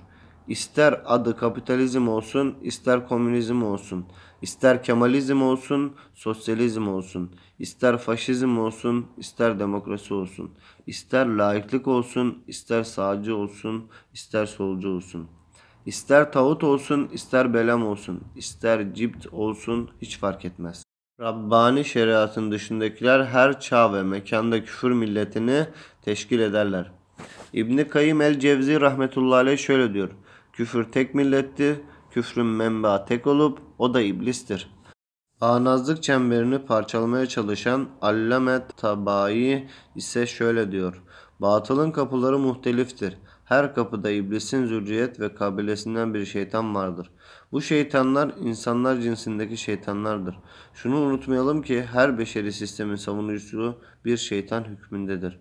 Daha doğrusu şeytanın ta kendisidir. Yeryüzünde Allah'ın şeriatını bir kenara iterek insanların indi heva ve heveslerinden meydana gelmiş bir beşeri ideolojilere insanları davet edenler şeytanlardır. İnsanları komünizme davet eden de şeytandır. Kemalizme davet eden de şeytandır. Demokrasiye davet eden de şeytandır. laiklik ve liberalliğe davet eden de şeytandır. Dolayısıyla beşeri sistemin savunucusu ve sunucuları şeytan olma noktasında birdirler. Tabii ki bu da küfrün tek millet olmasının tabii bir neticesidir. Mezhep imamlarımız da küfrün vahid millet olduğunu haykırmışlardır. Hatta eğitim ve öğretimi dahi yapmışlardır. Hanefi ulemasından Molla Hüsrev rahmetullahi aleyh kendi kitabında Hanefi mezhebinin görüşü küfür tek millettir der. Şafii ulemasından Seyyid Ulvi, Seyyid Ahmet Es-Sekafi rahmetullahi de şöyle der. Milletlere ayrı da olsa kafir, kafire varis olur. Şüphesiz küfür milletleri batılda tek millet gibidirler. Bu durum bizim ve Hanifi mezhebinin en esas olan görüşüdür. Kesir rahmetullahi aleyh de şöyle diyor. Küfrün tek millet olduğu konusunda Hanefi, Şafi ve Hanbeliler birleşmişlerdir. İmam-ı Kurtubi rahmetullahi aleyh de Hanefi, Şafi ve Hanbelilerin küfrün tek millet olduğu konusunda ittifak etmişlerdir der. Görüldüğü gibi mezhepleri imamları küfrün tek millet olduğu konusunda ihtilaf değil ittifak etmişlerdir. Küfür tek millettir. İlkesi Kur'an ve sünnetten çıkarılmış bir icma ümmettir. Böylece küfrün tek millet olduğunu tespit ettikten sonra akla peki bu Müslümanlar kaç millettir? Suali gelmektedir. Müslümanlar hem tek millet ve hem de tek ümmettirler. Allah Celle Celaluhu hayat rehberimiz Kur'an'da şöyle buyuruyor. Şüphesiz sizin bu ümmetiniz tek bir ümmettir. Ben de sizin Rabbinizim. O halde bana ibadet edin. Evet, kıyamete kadar Müslümanlar tek ümmettirler. Müslim ve gayrimüslim ayrımı Küfür tek millettir. Düsturunun gizlediği, müminlerin kafirlere peşkeş çekildiği, Müslüman kafir ayrımının ortadan kaldırılmaya çalışıldığı ölümlü ve zulümlü bir zaman diliminde yaşıyoruz. Şu hakikati bilmekte fayda vardır. Doğruları doğru zamanda konuşmayanlar doğru bir hayat yaşamaktan mahrum kalırlar. Doğru zamanlarda konuşulmayan doğrulardan birisi de Müslim ve gayrimüslim ayrımıdır. İnsanları Müslim, İslam'a teslim olan ve gayrimüslim, İslam'ı teslimiyeti reddedenler olarak taksim edip isimlendirilen Allahu Teala'dır. Allahu Teala değişmez hayat programımız Kur'an-ı Kerim'de şöyle buyuruyor. İnsanları Allah'a davet eden, salih amel işleyen, şüphesiz ben Müslümanlardanım diyen kimselerden daha güzel sözlü kim olabilir? Dikkat edilirse Müslümanlardan olmak övülmüş ve övülmeye layık olan bir durumdur. İslam'a teslim olmayan ve Müslümanlardan olmayı kabul etmeyenler de gayrimüslimdirler yani kafirdirler. Akaid ulemasından Aliyül Gari rahmetullahi aleyh şöyle der. İnsanlar iki kısımdır. Kafir ve mümin, Müslüman. Evet, Müslim ve gayrimüslim ayrımı Rabbani bir ayrımdır. Allahu Teala değişmez hayat mektebimiz Kur'an-ı Kerim'de şöyle buyuruyor. Muhammed Allah'ın Resulüdür. Onun beraberinde bulunanlar kafirlere karşı şiddetli, kendi aralarında ise merhametlidirler. Şimdi bu taksimatı Rabbaniye'ye rağmen Müslim ve gayrimüslim, kafir ve Müslüman şeklinde insanları sınıflandırıp taksim etmek doğru değildir diyenler. Şeksiz kafir olmuş olurlar. Esasen insanları kafir ve Müslüman şeklinde ayırmak her bir harekettir. İddiasında bulunanlar doğrudan doğruya Allah'a karşı Rablik iddiasında bulunan iman mahrumlarıdır. Yeryüzündeki insanların taksimatı konusunda Müslüm ve gayrimüslim ayrımından vazgeçmek izmihlaldir. Tevhidi bir mantıkla tarih incelendiğinde görülecektir ki Osmanlı Devleti'nin yıkılış sebeplerinin en mühimi küfür tek millettir düsturu konusunda verilen tavizdir. Vakta ki Osmanlı Devleti kanuni esası çerçevesi dahilinde Müslüm ve gayrimüslim ayrımını ortadan kaldırdı. Kendisi de ortadan kalkmaya, yok olmaya mecbur ve mahkum oldu. Dolayısıyla diyoruz ki Müslümanlar kendi hayatlarında Müslüm ve gayrimüslim ayrımını yani küfür tek millettir, İslam tek millettir düsturuna riayet ettikleri oranda İslami hayata sahiptirler. Müslüm ve gayrimüslim ayrımını yapmayanlar Allah'ın arzında Allah'ın dinini yaşama hakkını kaybederler. Çünkü böyle bir durumda kafirlerle müşterek bir hayatta kafirlerle paylaşma ve yaşama başlı başına küfürdür. Bu böyle biline. De ki bizim günahımızdan siz mesul olmayacaksınız. Sizin yaptığınızdan da biz sorumlu tutulmayacağız. Üçüncü bölüm Kafirler küfürde kardeştirler. İslam dinine karşı savaşmada ve İslam'ın hayatı hakimiyetini engellemede kafirler bir bütündürler. Kafirleri İslam'ın karşısında bütünleştiren, küfre dayanan itikadi kardeşliktir. Çünkü kafirler küfürde kardeştirler. Kafirler arasında kalbi ve fiili bir bağlılık vardır. Allahu Teala şöyle buyuruyor. Bilgisizler derler ki Allah bize senin hak peygamber olduğunu söylese veya bir delil getirse ya onlar kendilerinden öncekilerinin söyledikleri şeyin aynısını söylediler. Küfür ve inatta. Kalpleri birbirine benzedi. Biz gerçekleri bilmek isteyenlere ayetlerimizi açıkça beyan ettik. Dikkat edilirse önceki kafirlerle sonraki kafirlerin tekrarladıkları küfür mesajı aynıdır. Çünkü kafirler küfrün mensuplarıdır. Müslümanlar ile kafirler arasındaki ayrılık din ayrılığıdır.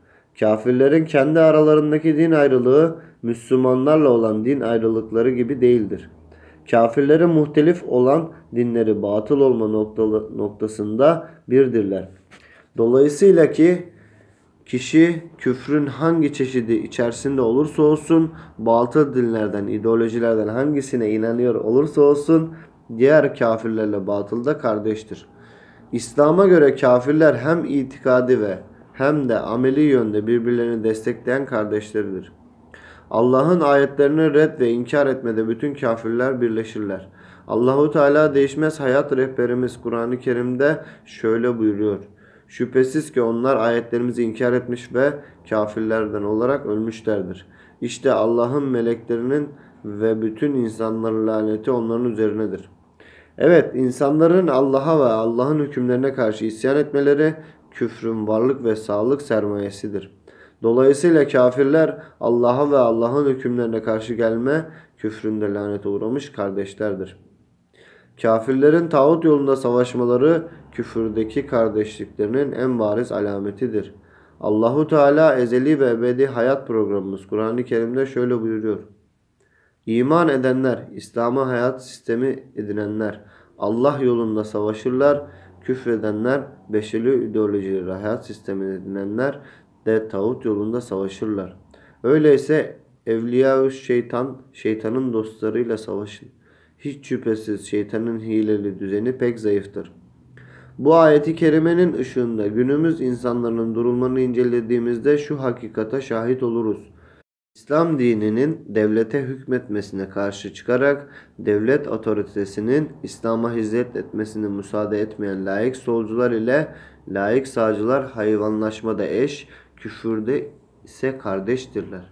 Kafirlerin heva ve heveslerinden kaynaklanan dinleri sayısızdır. Ancak hepsi de batıl olma noktasında birdir. Bu nedenle hayat sahnesinde mücadele meydanında kafirler hakkında karşısında birleşirler. Çünkü hepsinin de güvenip dayandıkları kendileri gibi olanlar insanlardır. Yani kafirlerin dayanakları ölmeye veya yok olmaya mahkumdurlar. Bu münasebetle kafirlerin küfürdeki kardeşliklerini müşterek itikat ve amellerinde görmek her an mümkündür. Şunu unutmayalım ki günümüz İslam coğrafyasını istila etmiş bulunan sağcı ve solcu kafirlerin müşterek putları demokrasidir. Laiklik ise demokrasi putu üzerinde ortaklık kurmuş olan sağcı ve solcuların müşterek sesidir. Bazıları şunu iddia edebilir. Kafirler kendi aralarında da kavga ve kargaşa içerisindedirler. Nasıl oluyor da bunlar küfürde kardeş oluyorlar? Evvela şunu bilmekte fayda vardır. Kafirlerin kendi aralarındaki kavga ve kargaşalar heva ve heveslere tapma konusundaki kardeşliklerine engel teşkil etmez.'' Bakınız bu konuda Allahu Teala şöyle buyuruyor. Habibim sen kendilerine kitap indirilmiş olanlara bütün delilleri göstersen yine de senin kıblene yönelmezler. Sen de onların kıblesine yönelmezsin. Onların bir kısmı da diğer bir kısmının kıblesine yönelmezler. Sana gelen ilimden sonra onların hevalarına uyarsan şüphesiz zalimlerden olursun. Dikkat edilirse birbirlerinin kıblelerine uymayan kafirlerin ortak birleşme noktaları heva ve heveslerine tapmaları, başkalarının da kendi ve heva ve heveslerini tapmaya mecbur ve mahkum etmeye kalkışmalarıdır.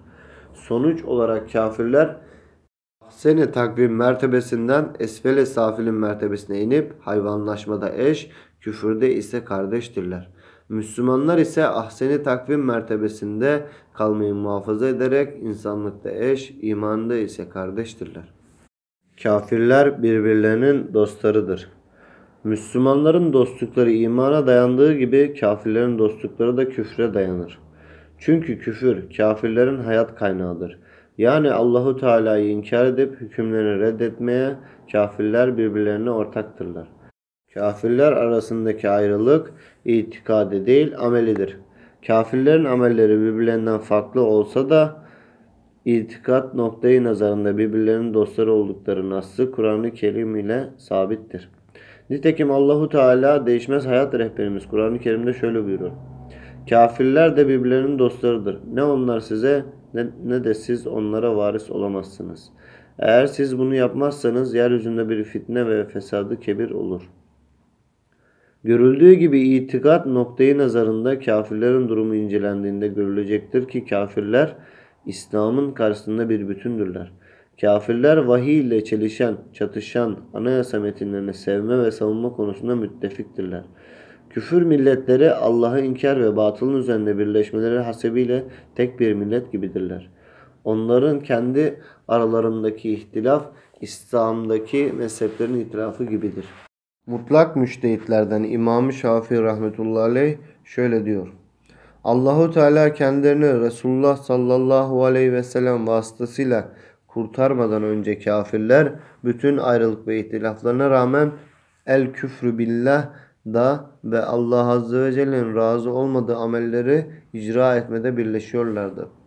Nitekim günümüzde de Allah'ın hakimiyetini reddetmede ve milletin hakimiyetini esas almada sağcılar ve solcular bir ve beraberdirler. Yani Allah'ın hakimiyetini hiçe sayma konusundaki solaklar ve salaklar tam bir ittifak içerisindedirler. Evet, yaşantıları birbirlerinden farklı da olsa kafirlerin itikattaki birleşme noktaları birdir. O da Allah'ı ve Allah'ın kanunlarını red ve inkar etmedir. Farklı olan amellerinin de tek bir ortak özelliği vardır. O da Allah'ın rızasına dayanmamalarıdır. Dolayısıyla kafirler itikadi ve ameli alanda hududullahı aşma konusunda ortaktırlar. Kafirlerden Müslümana dost olmadığı gibi Müslümanlardan da kafirlere dost olmaz. Çünkü Müslümanın Müslümandan başka dostu yoktur. Kafirin de kafirden başka dostu yoktur. İman ve amelleri Müslümanların iman ve amellerinin karşıtı olanlar Müslümanlardan değillerdir. Tabii ki Müslümanlardan olmayanlar kafirlerden olurlar. Bu konuda en güzel örnek Nuh aleyhisselam ile oğlunun durumudur. Allahu Teala Kur'an-ı Kerim'de şöyle haber veriyor. Nuh Rabbine dua edip şöyle dedi. Ya Rab elbette oğlum benim alemdendir. Senin vaadin haktır. Onun yerine getirirsin. Sen hakimlerin hakimisin. Allah şöyle buyurdu. Ey Nuh o senin ailenden değildir. Çünkü o salih olmayan bir amel sahibidir. O halde bilmediğin bir şeyi benden isteme. Seni cahillerden olmaktan men ederim. Bu ayeti kerime bize göstermelidir ki mümin ile kafir arasındaki velayet kesilmiştir. Şu da bir hakikattir ki dindeki ittifak mezhepteki ittifaktan daha kuvvetlidir. Dinleri birbirlerinden ayrı olanları başka bir şey kendilerini birleştiremez. Dine dayanmayan birliktelikler sahte birlikteliklerdir ve de yok olmaya mahkumdurlar. İslam'a göre insanlar Evliyaullah ve Evliyauş şeytan olmak üzere iki kısma ayrılırlar. Bunları tanıdıktan sonra aralarını ayırmak gerekir. Velayet, dostluk, adavet, düşmanlığın zıddıdır. Velayetin aslı yakınlık ve muhabbettir. Adavetin aslı ise uzaklık ve buzdur. Kafirlerin arasındaki velayet dostluk, itikat ve amellerinin yakınlığı ve aynılığı münasebetiyledir. Şu bir hakikattir ki itikadı ve ameli bir yönde beraberliklerine yakın olmayanların arasında velayet dostluk tahakkuk etmez. Aralarında velayet dostluk tahakkuk edenler itikat ve amelde birleşenlerdir. Kafirler için küfür caddesinin sağında veya solunda olmak birleşmeye ve dost olmaya engel değildir. Çünkü küfür caddesinin sağında ve solunda yürüyenlerin arasında hiçbir fark yoktur. Her iki tarafın da üzerinde bulundukları cadde sırat-ı müstakimin dışındadır. Şunu unutmayalım ki kapitalizm putuna tapanla demokrasi putuna tapanın ar arasında herhangi bir fark olmadığı gibi kumar oynayan kafir ile zina eden kafirin arasında da herhangi bir fark yoktur. Bu asrımızda kafirlerin dostlukları müesseseleştirilmiştir. Bilindiği gibi bu fani dünyada Birleşmiş Milletler Teşkilatı adı altında bir kurum vardır. Birleşmiş Milletler Teşkilatı'nın hakiki ismi Birleşmiş Kafirler Teşkilatı'dır. Çünkü Birleşmiş Milletler Teşkilatı'nın temeli İslam dinine değil, tamamen insanlar tarafından uydurulmuş beşer kaynaklı batıl ve atıl dinlere dayanmaktadır. Dolayısıyla Birleşmiş Milletler Teşkilatı'nı dost edinip kendisiyle itikadi ve ameli ittifakların içerisine girenler İslam milletinden değil küfür milletindendir. Birleşmiş Milletler Teşkilatı enternasyonel küfür mafyasıdır.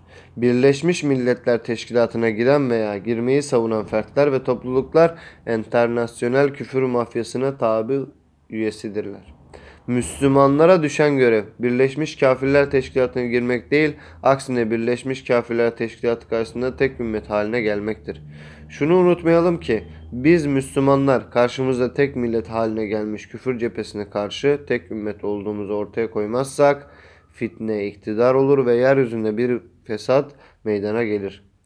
Günümüz İslam coğrafyasında hüküm sürmekte olan demokrasi, laiklik, krallık, liberallik gibi fitnelerin iktidarlarının ayakta kalmalarına vesile olan tek ümmet haline gelmeyen Müslümanlardır. Bakınız bu konuda İslam ulemasından Zamahşari rahmetullahi aleyh şöyle diyor. Müslümanlar şirk karşısında tek el haline gelmezlerse şirk hakim olur ve fesat da ziyadeleşir. Hakim olan şirk iktidarının yıkılmasını ve vesadın ortadan kalkmasını arzu eden Müslümanlar bir an önce tek ümmet haline gelmelidirler. Tabii ki küfür cephesi karşısında tek ümmet haline gelen Müslümanlar kafirlerin sadece kafirlere dost olduklarını da göstermiş olurlar. Şu bir hakikattir ki mümin ile kafir arasında velayet, yardımlaşma ve veraset bakımından hiçbir bağ yoktur. Yalnız kafir ve fasıklarla idareci maslahat yapmak caizdir. Bu Allah Celle Celaluhu'nun haram kıldığı velayet ve dostluğun içerisine girmez. Onlara velayet hakkı tanımak, sevip dost edinmek başka şeydir. İdareyi maslahat etmek başka şeydir. Çünkü Resulullah sallallahu aleyhi ve sellem şöyle buyuruyor.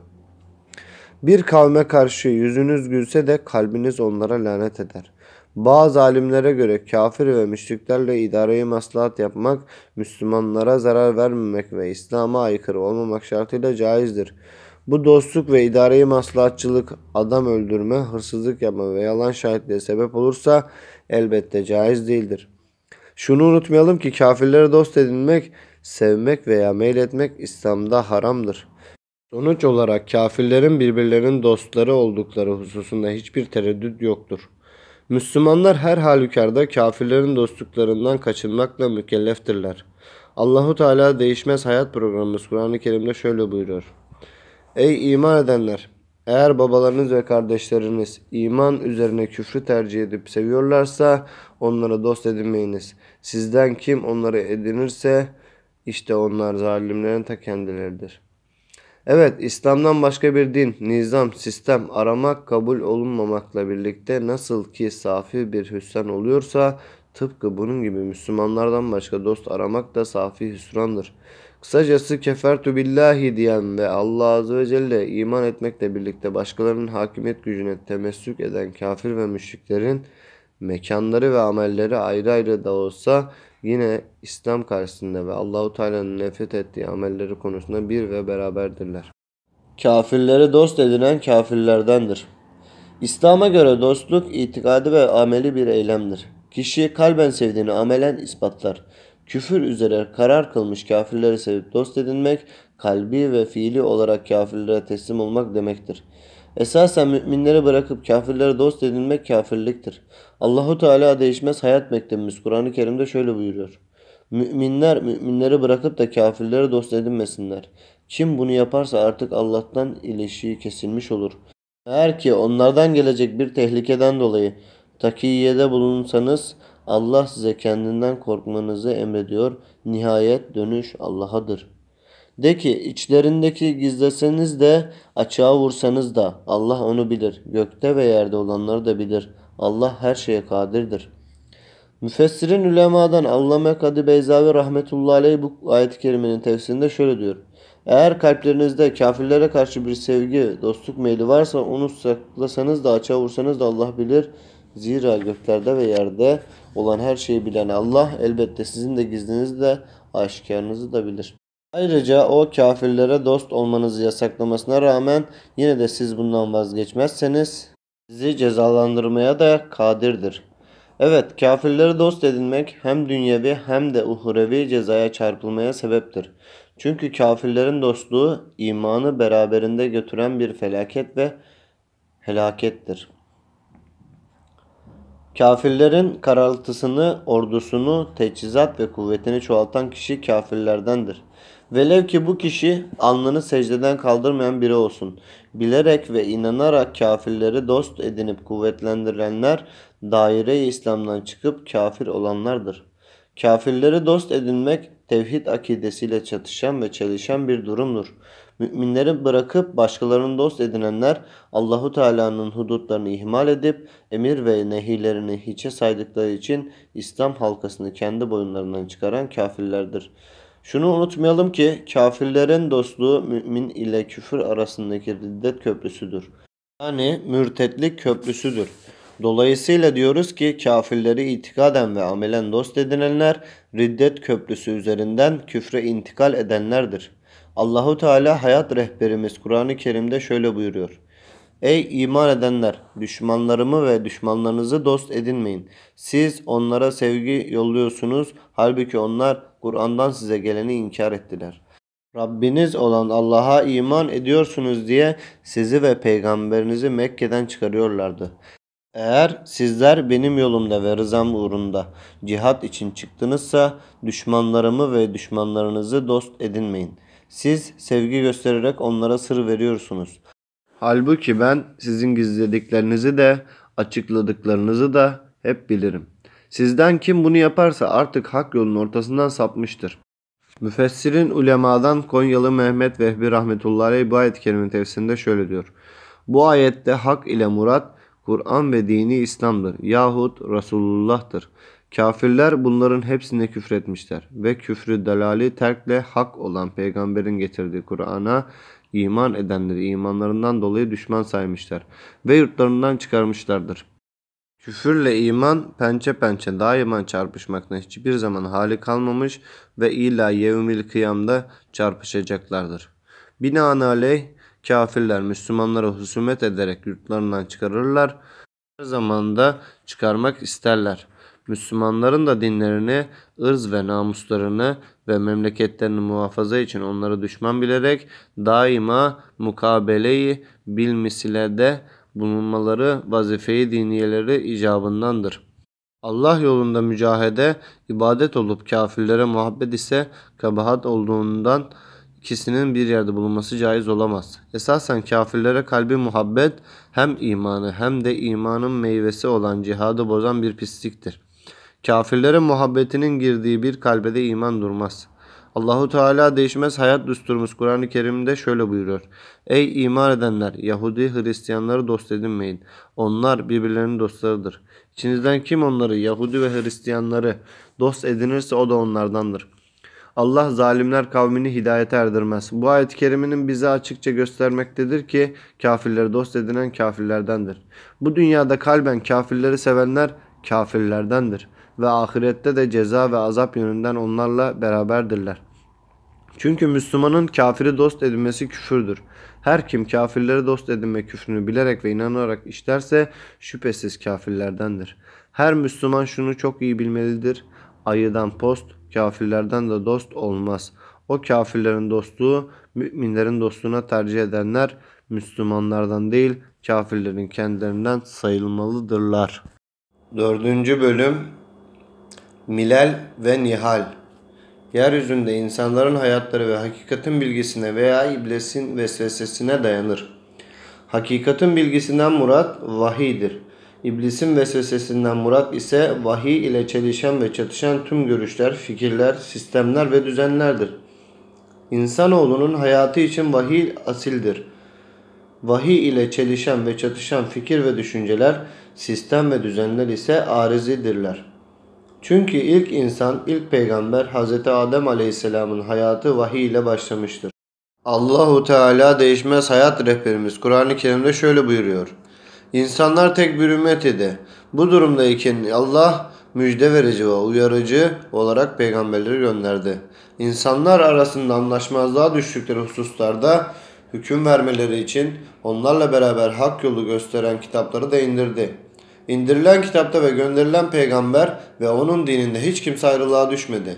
Ancak kendilerine apaçık deliller geldikten sonra sırf aralarındaki kıskançlıktan ötürü kendilerine kitap verilenler anlaşmazlığa düştü. Bunun üzerine Allah iman edenlere haktan kendilerine ihtilafa düştükleri şeyleri izniyle gösterdi. Şüphesiz Allah dilediğine sırat-ı müstakimi gösterir. Müfessirlerin ulemadan Muhammed Hamdi Yazır rahmetullahi aleyh bu ayet-i kerimenin tefsirinde şöyle diyor. Tarihi beşerin bir icmali olan bu ayet-i celile fıtratı beşerin, emrin nübüvvetin, menba hukukun, hikmet-i teşriğin, icra-i hükümetin, künhe esrarını mutazammın büyük bir ilmi içtimai içerisinde muhtevedir. Çünkü bu ayeti kerimede hayatı beşeriyete işaret edilmiştir. İnsanların içerisinde vahye temessük edenler İslam milleti vasıflarını korurlarken öbür tarafta vahyeden ayrılıp heva ve heveslerine uyanlar da küfür milletini oluşturmuşlardır. Şehristani rahmetullahi aleyh şöyle diyor. İnsanlardan bazıları ehli alemi içerisinde bulundukları iklim şartlarına, renklerine, lisanlarına göre taksim etmişler. Bazıları batı, doğu, kuzey, güney gibi yönlere göre taksim etmişler. Bazıları kabile, aşiret, kavim gibi durumlara göre taksim etmişlerdir. Bütün bunlar bir yana ehli alem için en sahih taksim milal ve nihal. Milal vahye tabi olan ehli diyanettir. Nihal ise vahiy yerine kendi heveslerine tabi olan ehli hevadır. Heva ve heveslerine dayananlardır. Dikkat edilirse milal ve nihal kavramları toplumların ve insanların itikat ve amel dünyalarını değerlendirmede temel kıstas kabul edilen milyarlarını vahye göre şekillendirip yönlendirenler için milal hayatlarını, iktidarlarını, heva ve heveslerine hakim kılanlar için de nihal kavramı kullanılmıştır. Allahu Teala inzal ettiği vahye tabi olanları milal yani İslam milleti, insanın heva ve heveslerine tabi olanlara da nihal yani küfür milleti denir. O halde vahye göre hayatlarını düzenleyen toplumlara vahiy toplumu, heva ve heveslerine göre hayatlarını düzenleyen toplumlara da heva toplumu demek en uygun olanıdır. İslam'a göre insanları ve toplumları ehli vahiy ile ehli heva olarak mütalaa edip değerlendirmek imanı bir zarurettir. Bu nedenle bir insan ya ehli vahidir veya ehli hevadır. Üçüncü bir şeyin ehli olmak mümkün değildir. Vahiy etrafında toplanıp hayatlarını vahye göre düzenleyenlere Müslüman denilir. Heva ve hevesleri etrafında toplanıp hayatlarını kendi heva ve heveslerine göre düzenleyenlere de kafir denilir. Müslüman kafir ayrımı beraberinde milal ve nihal ayrımını getirmiştir. Vahiy müminlerin birleşme noktasıdır, küfür de kafirlerin birleşme noktasıdır. Esasen kafirleri bir araya getiren kalbi ve fiili küfürleridir. Bundan ötürüdür ki küfrün etrafında birleşen ve küfrün kendilerine birleştirdiği kimseler için küfür tek millettir denilmiştir. Tek millet olan küfrü ifade etmek için nihal kavramı da kullanılmıştır. Bilindiği gibi nihal kelimesi nihlenin çoğuludur. Nihle ise kupkuru zam ve vehim manasına gel gelir. Dolayısıyla el milal vahye dayanan dinlerin milletlerinin tarihi, en nihal ise vahye dayanmayan sistemlerin mahiyetidir. Şunu unutmayalım ki İslam gerek fertleri ve gerekse toplumları vahye teslim olanla vahye isyan edenler olarak değerlendirmişler. Bu münasebetle insanların ve toplumların itikat ve amel dünyalarına kavim ve ırklara göre tasnif ve tanzim eden sistemler, ekoller, fikir ve düşünce akımlarının tümü küfridirler. Yani gayri İslam'dırlar. Sonuç olarak milal hayattır, nihal ise vahşettir. Çünkü milal hayatı kayıtsız çarsız vahye teslim etme halidir.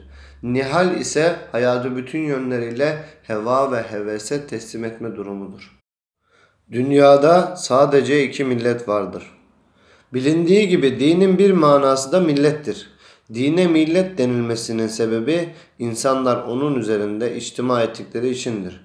Başka bir ifadeyle Allah'ın kullarına düşmanlık duygularından arındırıp kardeş yaptığı içindir. Dolayısıyla yeryüzünde bir İslam milleti vardır. Bir de küfür milleti vardır. İslam'dan başka hak din geçerli nizam olmadığından İslam'ın karşısında yer alanların tümü tek millettirler. İslam kafirlerin tümünü reddeder. Bazı kafirlerin küfrünü reddedip bazı kafirlerin küfrünü kabul etmek küfürdür.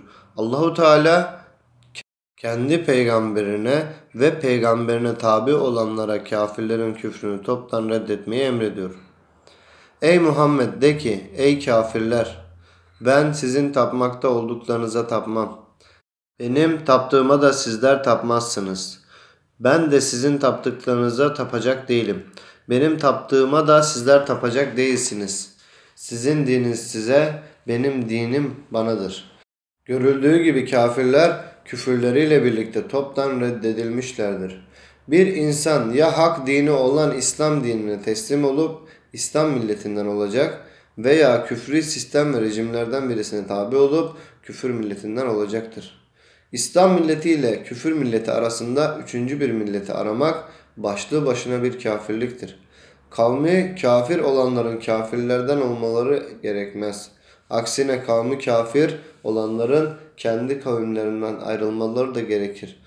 Bu takdirde kişi kendi din ve imanını kaybeder.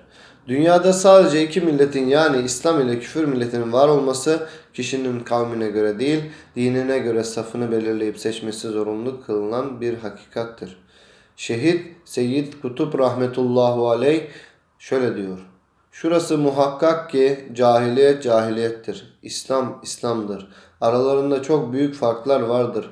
Gidilecek yol bütünüyle cahiliyetten çıkıp ve yine bütünüyle İslam'a girmektir. Takip edilecek metot bütün şekilleriyle cahiliyetten sıyrılıp çıkmak ve bütün emirleriyle gelip İslam'a sığınmaktır. Yolda atılacak ilk adım dava adamının cahiliye sisteminden, nizamından ve hareketlerinden tam olarak sıyrılıp ayrılması ve bunun şuuruna ermesidir. Yolun ortasından buluşma imkanı bırakmayacak kadar ayrılmak. Cahiliyet ehlinin ancak tamamen cahiliyetlerinden çıkıp bütünüyle İslam'a girmeleri halinde yardımlaşabileceklerini kabul ederek bunun dışında bir dayanışma imkanı bırakmayacak kadar ayrılmaktır. Yağma yok, taviz verme yok, yolun ortasında buluşma yok. Cahiliyet ne kadar iddia ederse etsin anlaşma yok. Bu şeklin dava adamının şuurunda kesin olarak yer etmesi konulması gereken ilk temel taşıdır. Dava adamı kendisinin ayrı bir yolda öbürlerinin ayrı bir yolda olduğunu kabul etmelidir. Onların kendilerine göre dinleri, kendinin de kendine göre dini olduğunu, onların kendilerine göre yolları, kendinin de kendine göre yolu olduğunu şuuruna ererek anlamalıdır. Gittikleri yolda birlikte tek bir adım dahi atmayacaklarını kabul etmelidir. Onun vazifesi kendi yolunda yürümektir. Hiç taviz vermeden ve kendi dininden az veya çok fire vermeden tam olarak uzaklaşmak, kesin olarak ayrılmak ve açıkça kestirip atmak. İslam'ı red ve inkar edenlerin içerisinde kalmayı İslam milletinin varlığına indirilen bir darbe kabul edip ayrılmaktır. Küfür milletinden ayrılmayan ve gönüllü olarak onların içerisinde kalan bir kimse İslam milletinden değildir. Aksine küfür milletindendir. Sizin dininiz size benim dinim banadır. Ayeti celilesinin bize öğrettiği şey budur. Dünyada iki din vardır. Hak ve batıl. Dünyada iki millet vardır. İslam ve küfür. Renkleri, dilleri, kavimleri, ırkları, mesken ve mekanları değişik değişik olsa da Allahu Teala'ya ve onun gönderdiği şeriat nizamına iman edenler İslam milletini Allahu Teala'yı ve onun gönderdiği şeriat nizamını inkar edenlere de küfür milletini oluştururlar. Dolayısıyla diyoruz ki dünyada binlerce kavim olabilir ama binlerce millet olmaz. Millet sadece iki tanedir. İslam milleti, küfür milleti. Sonuç olarak mümin için din İslam'dır. Nizam İslam'dır. Yol İslam'dır. Millet İslam'dır. İslam'ın dışındaki din küfür, nizam küfür, yol küfür, millet küfür. İman ve istikamet. Hayatın hayatı hiç şüphesiz imandır. İman hayatın emniyet sigortasıdır. İman fıtri duyguların bekçisi ve beşer hayatı için de saadetin biricik çeşmesidir. İman mükellefin kalbine yerleşip hayatının kalıbına hakim olan ilahi bir nurdur. İman kurtuluşun ilk maddesidir. Allahu Teala ebedi hayat rehberimiz Kur'an-ı Kerim'de şöyle buyuruyor. Asra andolsun ki hiç şüphesiz insan hüsrandadır. Ancak iman edenlerle salih amel işleyenler bir de birbirine hakkı ve tavsiye edenler bunun dışındadır. Dikkat edilirse iman hayat ağacının köküdür. İmanın olmadığı yerde hayat ağacı kurumaya mahkumdur. Yani imansız hayat olmaz. Hayatı imansız arzu edenler fitne, fesat ve ölümlü arzu edenlerdir. İnsanca yaşamanın ilk şartı da imandır. Şunu beyan etmekte fayda vardır. İnsanca yaşama ile Müslümanca yaşamanın arasında fark yoktur. Müslümanca yaşamayan bir kimse hayvanca yaşamaya mecbur ve mahkum olur. Hüsrandan ve cehaletten kurtulmanın biricik çaresi imandır. Çünkü iman ilmin hem başı hem de gayesidir. Her türlü marufun başı Allah'a imandır. İman her türlü hayır dalının dal budak saldığı, meyve verdiği büyük hayatın köküdür. İman olmadan hayat kökü kurumuş bir ağaç gibidir. Kısa zamanda kuruyup yok olur. İman olmadan hayatta elde edilen neticeler şeytanidir. Onun devamı ve sürekliliği mümkün olmaz. İman yüce hayatın bütün hatlarının kendine bağlandığı ana miğferdir. Aksi takdirde hayat bağlantısı bulunmayan arzu ve ihtirasların doğrultusunda çürüyüp giden başıboş bir bağ olur. İman darmadağınık hareketleri birleştiren ve bir ahenk içerisinde nizama sokan tek bir yola ve bir tek harekete sevk eden belirli gücü ve planlı hedefi olan bir nizamdır.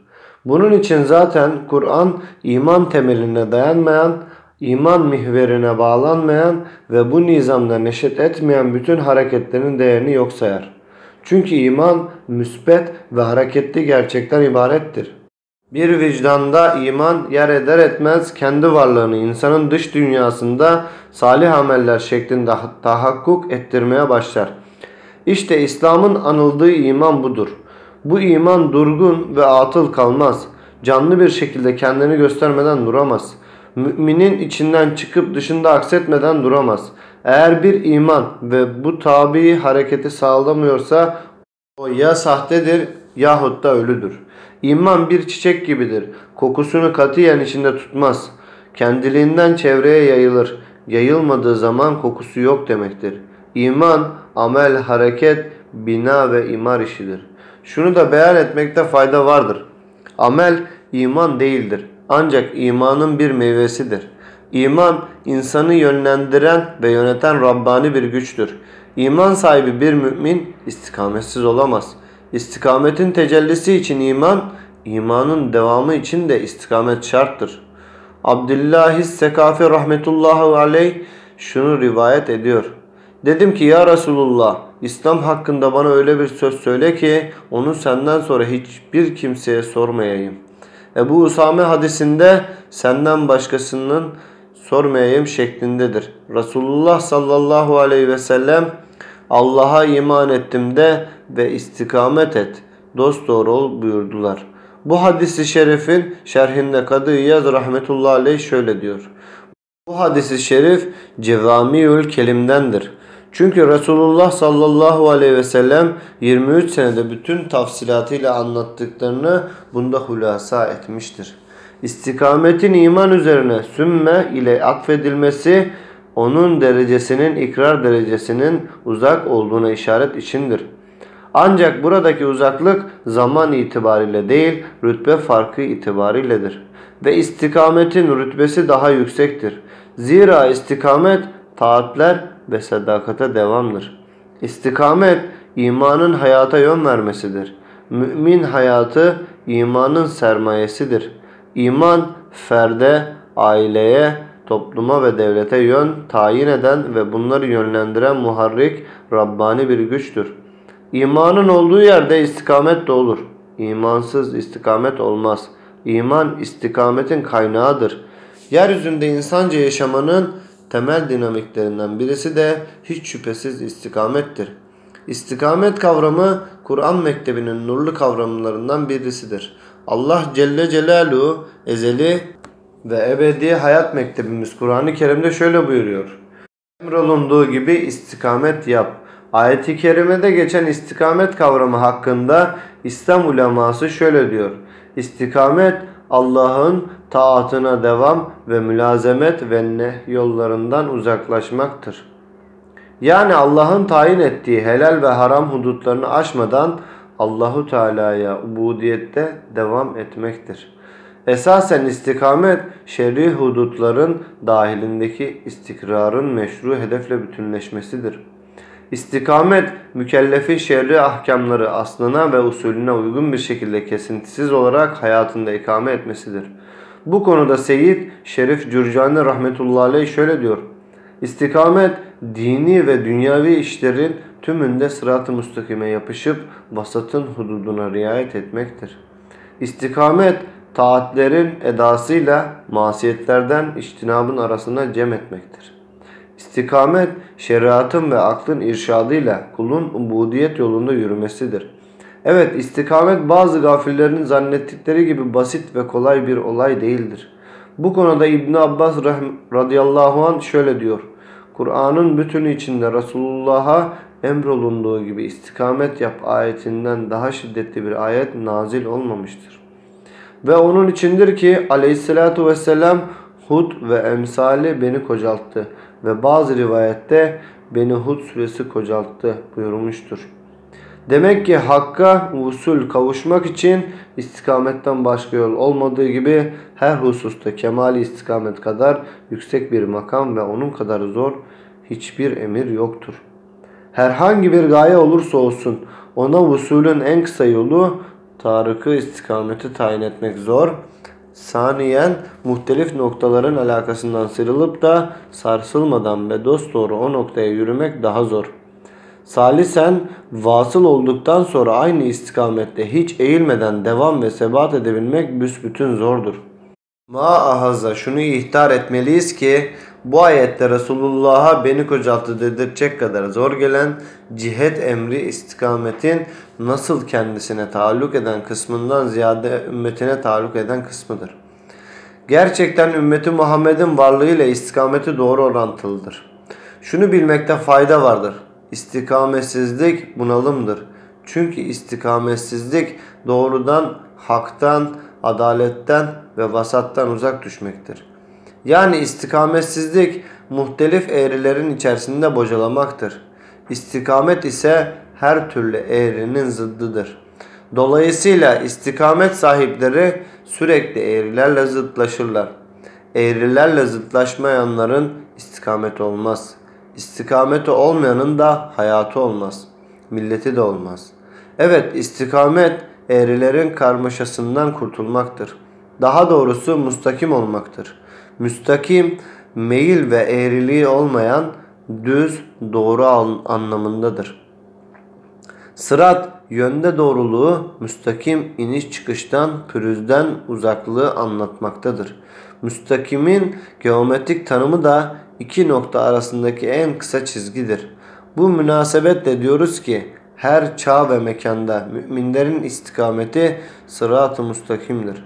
Sırat-ı müstakim dosdoğru, dümdüz, eğriliği olmayan yoldur. Şu bir hakikattir ki sırat-ı müstakimde hak vardır. Müstekbirlere karşı kıyam etmek vardır. Rabbani ahkamları amansız bir şekilde ikame etmek vardır. Allah'ın rızası sağa ve sola sapmadan cennete gitmek vardır. Sırat-ı müstakim iki nokta arasındaki en kısa çizgiye denir. Dünya noktasından cennet noktasına en kısa yoldan eğilip bükülmeden, yalpalamadan gidilecek yolun adıdır. Şunu da bilmekte fayda vardır. Her sırat-ı müstakim doğru yoldur. Fakat her doğru yol sırat-ı müstakim değildir. Çünkü cennete giden yol doğrulardan meydana geldiği gibi cehenneme giden yol eğrilerden meydana gelmiş bir doğrudur. Bundan ötürüdür ki Muhammed Hamdi Yazır rahmetullahi aleyh şöyle diyor. Müstakim hiçbir yerinde meyil ve eğrilik bulunmayan dümdüz ve dost doğru demektir. Sırat dahi cihetinde doğru ise inişi yokuşu bulunabileceğinden düzlük manası da anlatmak için müstakim vasfı ile tahkit olunmuştur. Bu sebepledir ki bunu müsavi ile tefsir ederler. Şu halde doğru kelimesi tamamen mustakimin yerini tutmayacaktır. Bunun için de sıratı mustakim yerine mustakim sırat diyemedim. Doğru yol dediğin zamanda sıratın nüktesiyle istikametin zevkinden bir şeyi zayi olduğunu hissettim. O halde rahatlıkla diyebiliriz ki müminlerin istikameti doğru yol değil sırat-ı mustakimdir. İstikamet hakka varan hedefin kıyam ile kaim olmasıdır. İstikamet Allah'ın emrettiği şekilde bir hayatın üzerinde olmaktır. İstikamet itikat dünyasıyla amel dünyasının bir bereketidir. Yani istikamet İslam hayatının servetidir. İstikametsiz İslam hayatı toptan tükenmiştir. Şunu unutmayalım ki İslam coğrafyasında Müslümanlar arasında tecelli eden iman ve istikamet tahrifatı ümmet tahribatının sigortası olmuştur. Ümmetin tamiratıyla meşgul olan bütün İslami grupların vazifesi iman ve istikamet emniyetinin gerçekleştirilmesi için çalışmaktır. İman ve istikametin gerçekleştirilmesi için çalışmayanlar iman halkasını boyunlarından çıkartan şaklaban ve şarlatanlardır. Şu da bir hakikattir ki günümüz Müslümanları keramete rağbet ettikleri kadar istikamete rağbet etmemektedirler. Oysa ki Allah Celle Celaluhu bizden kerameti değil istikameti sual edecektir. Yani istikametten dolayı Allah'ın huzuruna hesaba çekileceğiz. Bu konuda İslam ulemasından Ebu Ali el-Cüzcani rahmetullahi aleyh şöyle diyor. Sen Allah yolunda istikameti talep et. Kerameti talep etme. Zira senin nefsin keramet aramaya zorlar. Rabbin ise senden istikameti ister. Esasen istikametin olmadığı yerde keramet de olmaz. Allah'ın ikramına nail olabilmek için sırat-ı müstakim üzerinde olmak şarttır. Müminler için istikamet hem izzetin ve hem de şerefin teminatıdır. Şayet bugünkü Müslümanlar tağuti güçlerin gösterdikleri hedeflere doğru koşuyorlarsa bilinsin ki bunun temelinde istikametsizlik yatıyor. Şunu bilelim ki tağuti güçlerin işaretleriyle harekete geçen Müslümanlar istikametsizliğin kurbanlarıdır. Çünkü istikamet olan müminler hiçbir zaman ve hiçbir yerde tağuti güçlerin işaret ve icazetleriyle hareket etmezler. Esasen istikamet müminleri tek bir sistem üzerinde sabit hale getiren bir düsturdur. Bu konuda İmam Kurtubi rahmetullahi aleyh şöyle diyor. İstikamet sağ ve sol cihetlerine karşı tek cihet üzerinde yürümektir. Yani istikamet ifrat ve tefrit uçlarına karşı vasatta karar kılmaktır. İstikamet itikadın ilk meyvesidir. Müslümanın itikadıyla istikameti doğru orantılıdır. İtikatta istikamete eremeden amel istikamete ermek mümkün değildir. İstikamet imanın ilk meyvesidir. İstikamet sosyal ve siyasal alanda tevhidin hududunu aşmamaktır. İdarecilerin milleti Allah'ın hükümleriyle idare etmemeleri, şeriatı garayı bırakıp Avrupa'nın batıl ve atıl kanunlarına göre idare etmeleri tek kelimeyle istikametsizliktir. Bu istikametsizlik idarecilerin imansızlığındandır. Bakınız bu konuda Said Nursi rahmetullahi aleyh şöyle diyor. Şeriatı garra teessüs ettiğinden ahkamda Avrupa'ya dilencilik etmek dini İslam'a büyük bir cinayettir. Ve şimale müteveccihen namaz kılmak gibidir. Evet Allah'ın hükümlerini reddederek tağutların hükümleriyle toplum ve devleti sevki idare edenlerin istikameti müminlerin istikametiyle ters orantılıdır. Şunu unutmayalım ki yeryüzünde en büyük cinayet şeriatı garrayı bırakıp Avrupa'dan ahkam konusunda dilencilik etmektir. En büyük terörist ise Avrupa'nın kanunlarıyla, Ataputların ilkeleriyle Müslüman toplumu sevki idare etmeye kalkışan ve çalışan kimsedir. Günümüzde genelde İslam coğrafyasında, özelde ise Türkiye'de Müslümanların Harbi Avrupa ile bütünleştirmeye çalışanların adları ve ünvanları ne olursa olsun birer teröristtirler. Şunu bilmekte fayda vardır. İstikametini imandan alan bir kişi İslam milletindendir. Ancak imanı ile istikameti ters orantılı olan yani çelişen ve çatışan kişi ise İslam milletinden değildir. İstikameti imanın zıddı olan küfür milletindendir. Sonuç olarak iman istikametin, istikamet de iman üzere yaşamanın ve can vermenin hayat sigortasıdır. Gerek Müslüman ferdin, gerek Müslüman ailenin, gerek Müslüman toplumun ve gerekse Müslüman devletin temeli iman ve istikamete dayanır. İman ve istikametleri doğru orantılı olmayanların her şeyleri ters orantılı olur. Ancak iman ve istikametlere doğru orantılı olanları da her şeyleri doğru orantılı olur. Bu münasebetle iman ve istikametleri doğru orantılı olanların hayat cepheleri şeriat cephesidir.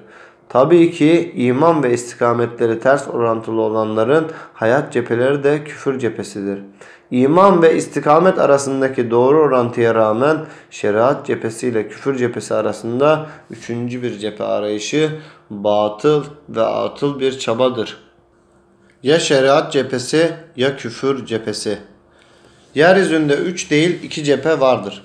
Şeriat cephesi, küfür cephesi. Şeriat cephesi vahye dayanır, küfür cephesi ise heva ve hevese dayanır. Şeriat cephesi Allahu Teala'nın hakimiyet gücüne hizmet eden bir cephedir. Yani şeriat cephesi bir taat ve ubudiyet cephesidir.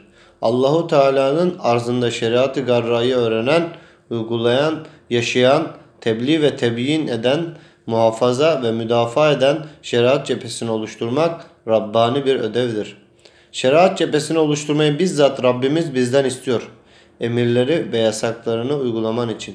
Seni emir ile hayat konusunda bir şeriatın üzerinde görevli kıldık. Artık o şeriatın kanunlarına tabi ol, bilmezlerin heva ve heveslerine sakın uyma.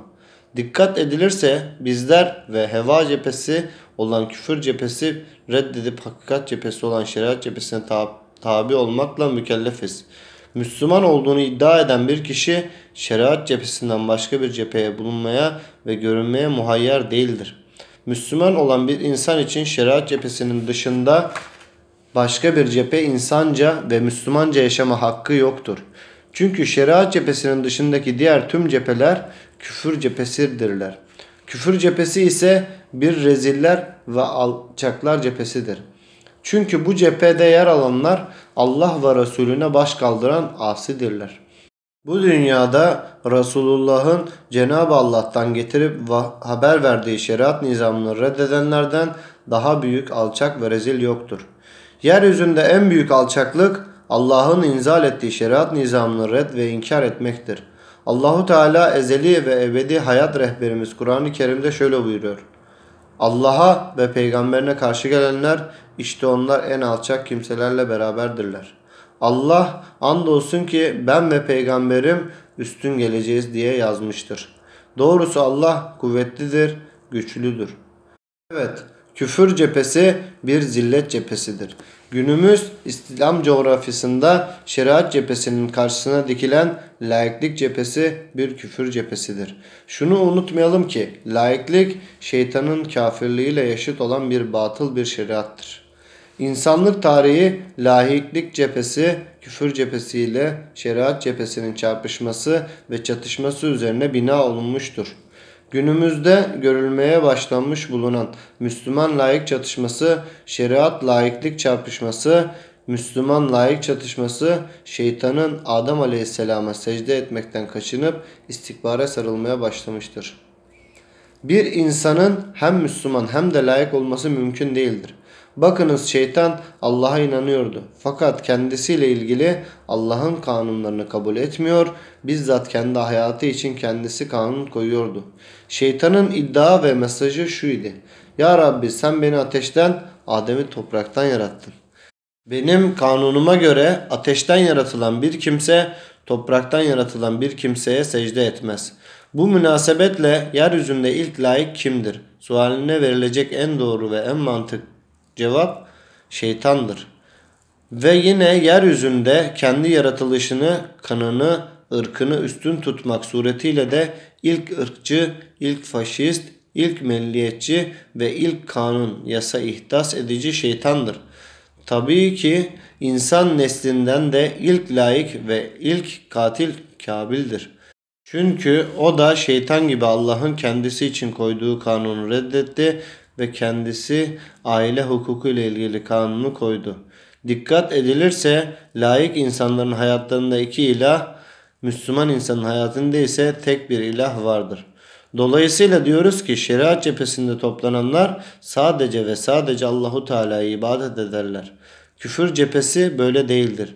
Küfür cephesi dediğimiz layık cephe çok ilahlı bir cephedir.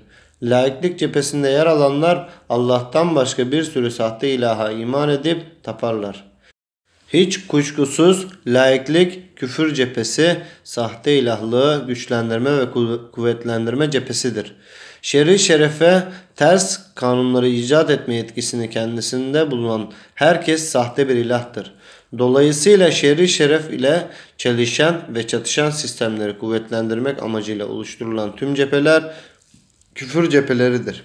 Küfür, laiklik cephesi hak ve hukuk noktasında bir ölüm ve zulüm cephesidir. Şeriat cephesi ise hak ve hukuk cephesidir.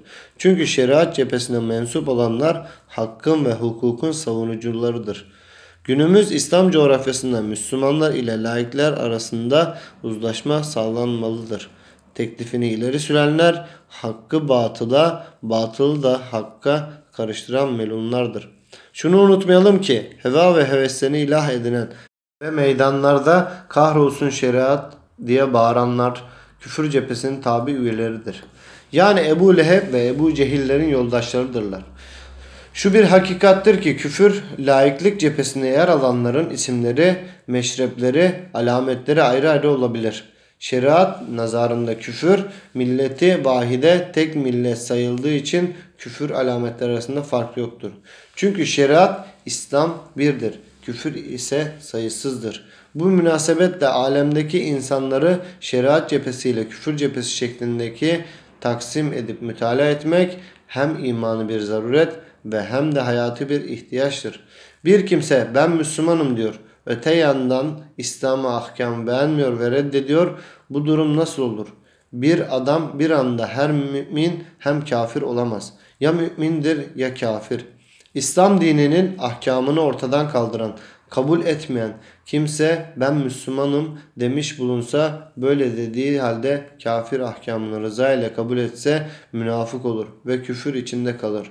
Dinsiz, imansız bir tip olarak ortaya çıkar.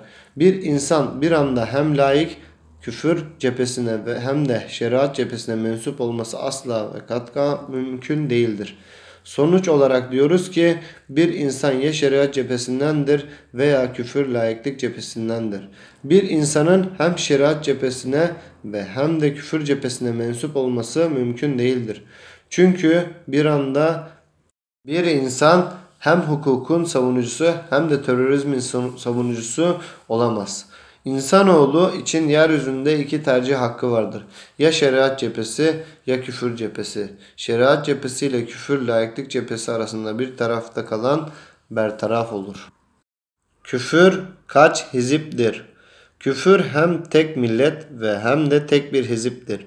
Allahu Teala değişmez hayat rehberimiz Kur'an-ı Kerim'de şöyle buyuruyor. Onları şeytan kaplamış da Allah'ı hatırlamayı kendilerine unutturmuştur. Onlar hizbu şeytandır. Dikkat edin hizbu şeytan olanlar hüsrana uğrayanlardır. İslam uleması bu ayet-i celilinin ışığında hizip kavramını izaha kavuşturmuşlardır.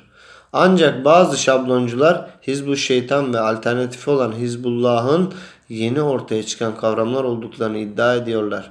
Biz bu iddiayı asırlar önce dünyaya iki hizb halinde mütalaa eden bir Kur'an'ın mektebinin öğrencisi olarak Nisaburi rahmetullahi aleyhin tespitiyle tarihin çöp sepetine atalım. Halk iki kısımdır. Birincisi Hizbullah'tır. Dikkat Hizbullah felaha erendir. İkincisi Hizbu şeytandır. Dikkat edin Hizbu şeytan hüsrana uğrayanlardır. Dikkat edilirse Hizbu şeytan Hizbullah'ın zıddıdır. Hizbu şeytan Allahu Teala'ya dost olanların değil, aksine düşman olanların hizbidir. Hizbu şeytanı oluşturanlar Allah ve peygamberine karşı savaşanlardır.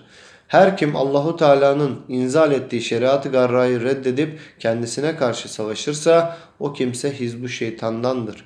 Esasen şeriat-ı garrayı yerine beşeri ideolojileri savunanların hizbu şeytandan olduklarından şüphe yoktur. Hizbu şeytan İslam nizamını hayat nizamı olarak kabul etmeyen, Allah'ın hakimiyetini hatırlamayan ve Allah'a iman ile birlikte beşeri ve şeytani rejimleri restore eden, çalıştırılan her hiziptir. Hizbu şeytan şirkin necasetini, vahyin bereketini tercih eden çirkin fillerin savunucusu ve sunucusu olan her hiziptir. Hizbu şeytan vahiy hayattan uzaklaştırıp yerine heva ve heveslere egemen kılmak için heva ve heveslere göre öğütlenmiş tüm parti ve grupların genel ismidir. Cinsleri, şekilleri ve adları ayrı ayrı olsa da küfür tek hiziptir. O da hizbu şeytandır. Şu bir hakikattir ki kafirlerin sosyal ve siyasal alandaki faaliyetlerinin düzenlenme ve yönlendirilme merkezi hizbu şeytandır. Çünkü hizbu şeytan küfrün hakimiyeti için sosyal ve siyasal yöndeki örgütlenmenin sağlık ve varlık sermayesidir. Bu nedenle örgütlenmiş küfrü faaliyetlere bekçilik eden her hizip hizbu şeytandır. Şu bir gerçektir ki hakta hem tek millet hem de tek hiziptir. Allah Celle Celaluhu hayat programımız Kur'an-ı Kerim'de şöyle buyuruyor. Kim Allah'ı ve peygamberi müminlere yar edinirse şüphesiz üstün gelecek onlar Hizbullah'tır. Evet hak tek hiziptir o da Hizbullah'tır. Kafirler de Amerika'sıyla, Rusya'sıyla, Almanya'sıyla, Japonya'sıyla, İsrail ve Çin'iyle, komünizmiyle, kemalizmiyle, faşizmiyle, kapitalizmiyle, sosyalizmiyle, masonuyla, farmasonuyla, demokratiyle, laikliyle, liberalistiyle, sağcı ve solcuyla tek hiziptirler. O da hizbu şeytandır. Bir insan ya Hizbullah'tandır veya hizbu şeytandandır. Üçüncü bir hizip yoktur. Ya Hizbullah veya hizbu şeytan gerisi lafı guzaftır. Sonuç Kafirler İslam'ın karşısında bir bütündürler. Tabii ki Müslümanlar da kafirlerin karşısında bir bütündürler. Kafirler ile Müslümanlar arasındaki haklı ve farklı ayrılık hem itikadi ve hem de amelidir. Dolayısıyla ahkamı rahmana göre yeryüzünde sürekli çarpışma ve çatışma halinde bulunan iki millet vardır. Küfür milleti, İslam milleti. İslam milleti Allahu Teala'ya karşı ilahlık iddiasında bulunan fertlerin beynel akvam kavimler arası kurum ve kuruluşların kurultayların, meclis ve parlamentoların şeriat-ı garraya, Ahmediye'ye mukabil ve onun yerine geçmek üzere uydurdukları anayasa metinlerini toptan la, hayır diyen ve sadece Allah'a ve onun gönderdiği hayat nizamı şeriata iman edenlerin oluşturdukları bir millettir. İslam milletini oluşturanlar muhtelif kavim ve ırklara mensup olan kimselerdir. Bunu unutmayalım ki ırklarımızın, kavimlerimizin ayrı ayrı olmaları aynı milletten olmamızı engellemediği gibi dinleri ayrı ayrı olanlarımızın aynı kavim ve ırka mensubiyetimizi engellemez. Ancak dinlerimizin ayrı ayrı olması aynı milletten olmamızı engeller. Çünkü dinimiz aynı zamanda milletimizdir. Tabii ki kafirlerin de küfrü olanların milletidir. Küfür milleti İslam dışındaki sistem ve rejimlere iman edenlerin oluşturdukları bir millettir. Küfür milletlerinde her türlü ırk ve kavme mensup olan insanlar vardır. Küfür milletini sadece Ruslar, Amerikalılar, İngilizler, Almanlar, Ermeniler oluşturmaz. Aksine küfür milletini oluşturanlar yukarıdaki sayılanlarla birlikte Kürtler, Türkler, Araplar, Farslar, Çerkezler vesaire ırk ve kavimlere mensup olanlardır. Yani Allahu Teala'yı onun indirdiği şeriatın nizamını inkar edenler kayıtsız çarsız küfür milletindendirler. Bunların Türk, Kürt, Arap, Çerkez, Fars vesaire kavimlere mensup olmaları durumu değiştirmez. İslam milleti küfür milleti ayrımı şeriat-ı garranın ortaya koyduğu bir esastır. Bu esası asli siyaset-i şerriyenin iç ve dış boyutunun temelini teşkil eder. İslam milleti küfür milleti ayrımını ortadan kaldırdığınız zaman meydanda siyaset-i şerriye diye bir şey kalmaz. Bu nedenle küfür tek millettir düsturu siyaset-i şerriyenin dış boyutu konusunda sürekli riayet edilmesi zorunlu olan bir şer'i ihtiyaçtır. Bütün bu gerçeklere rağmen günümüz İslam coğrafyasında ortaya çıkmış İslami grupların birçoğu dış siyaset konusunda küfür tek millettir düsturuna riayet etmemektedir. Küfür tek millettir düsturuna riayetsizliğin bir neticesi olarak kafirlerle Müslümanlar arasında itikadi ve ameli ittifaklar gerçekleşmektedir. Tabii ki bu da dini mübini İslam'a karşı cinayettir. Bu cinayetten kurtulmanın tek çaresi dış siyaset onun doğrultusunda ilişki ve münasebetleri sürdürmektir. Şurası bir hakikattir ki gerek İslam insanın şerri kimlik ve kişiliğine kavuşmasında, gerek İslam cemaatinin oluşmasında ve gerekse İslam devletinin kendisi dışındaki devletlerle ilişki ve münasebetler kurma konusunda değişmez ve değiştirilmez iki esas vardır.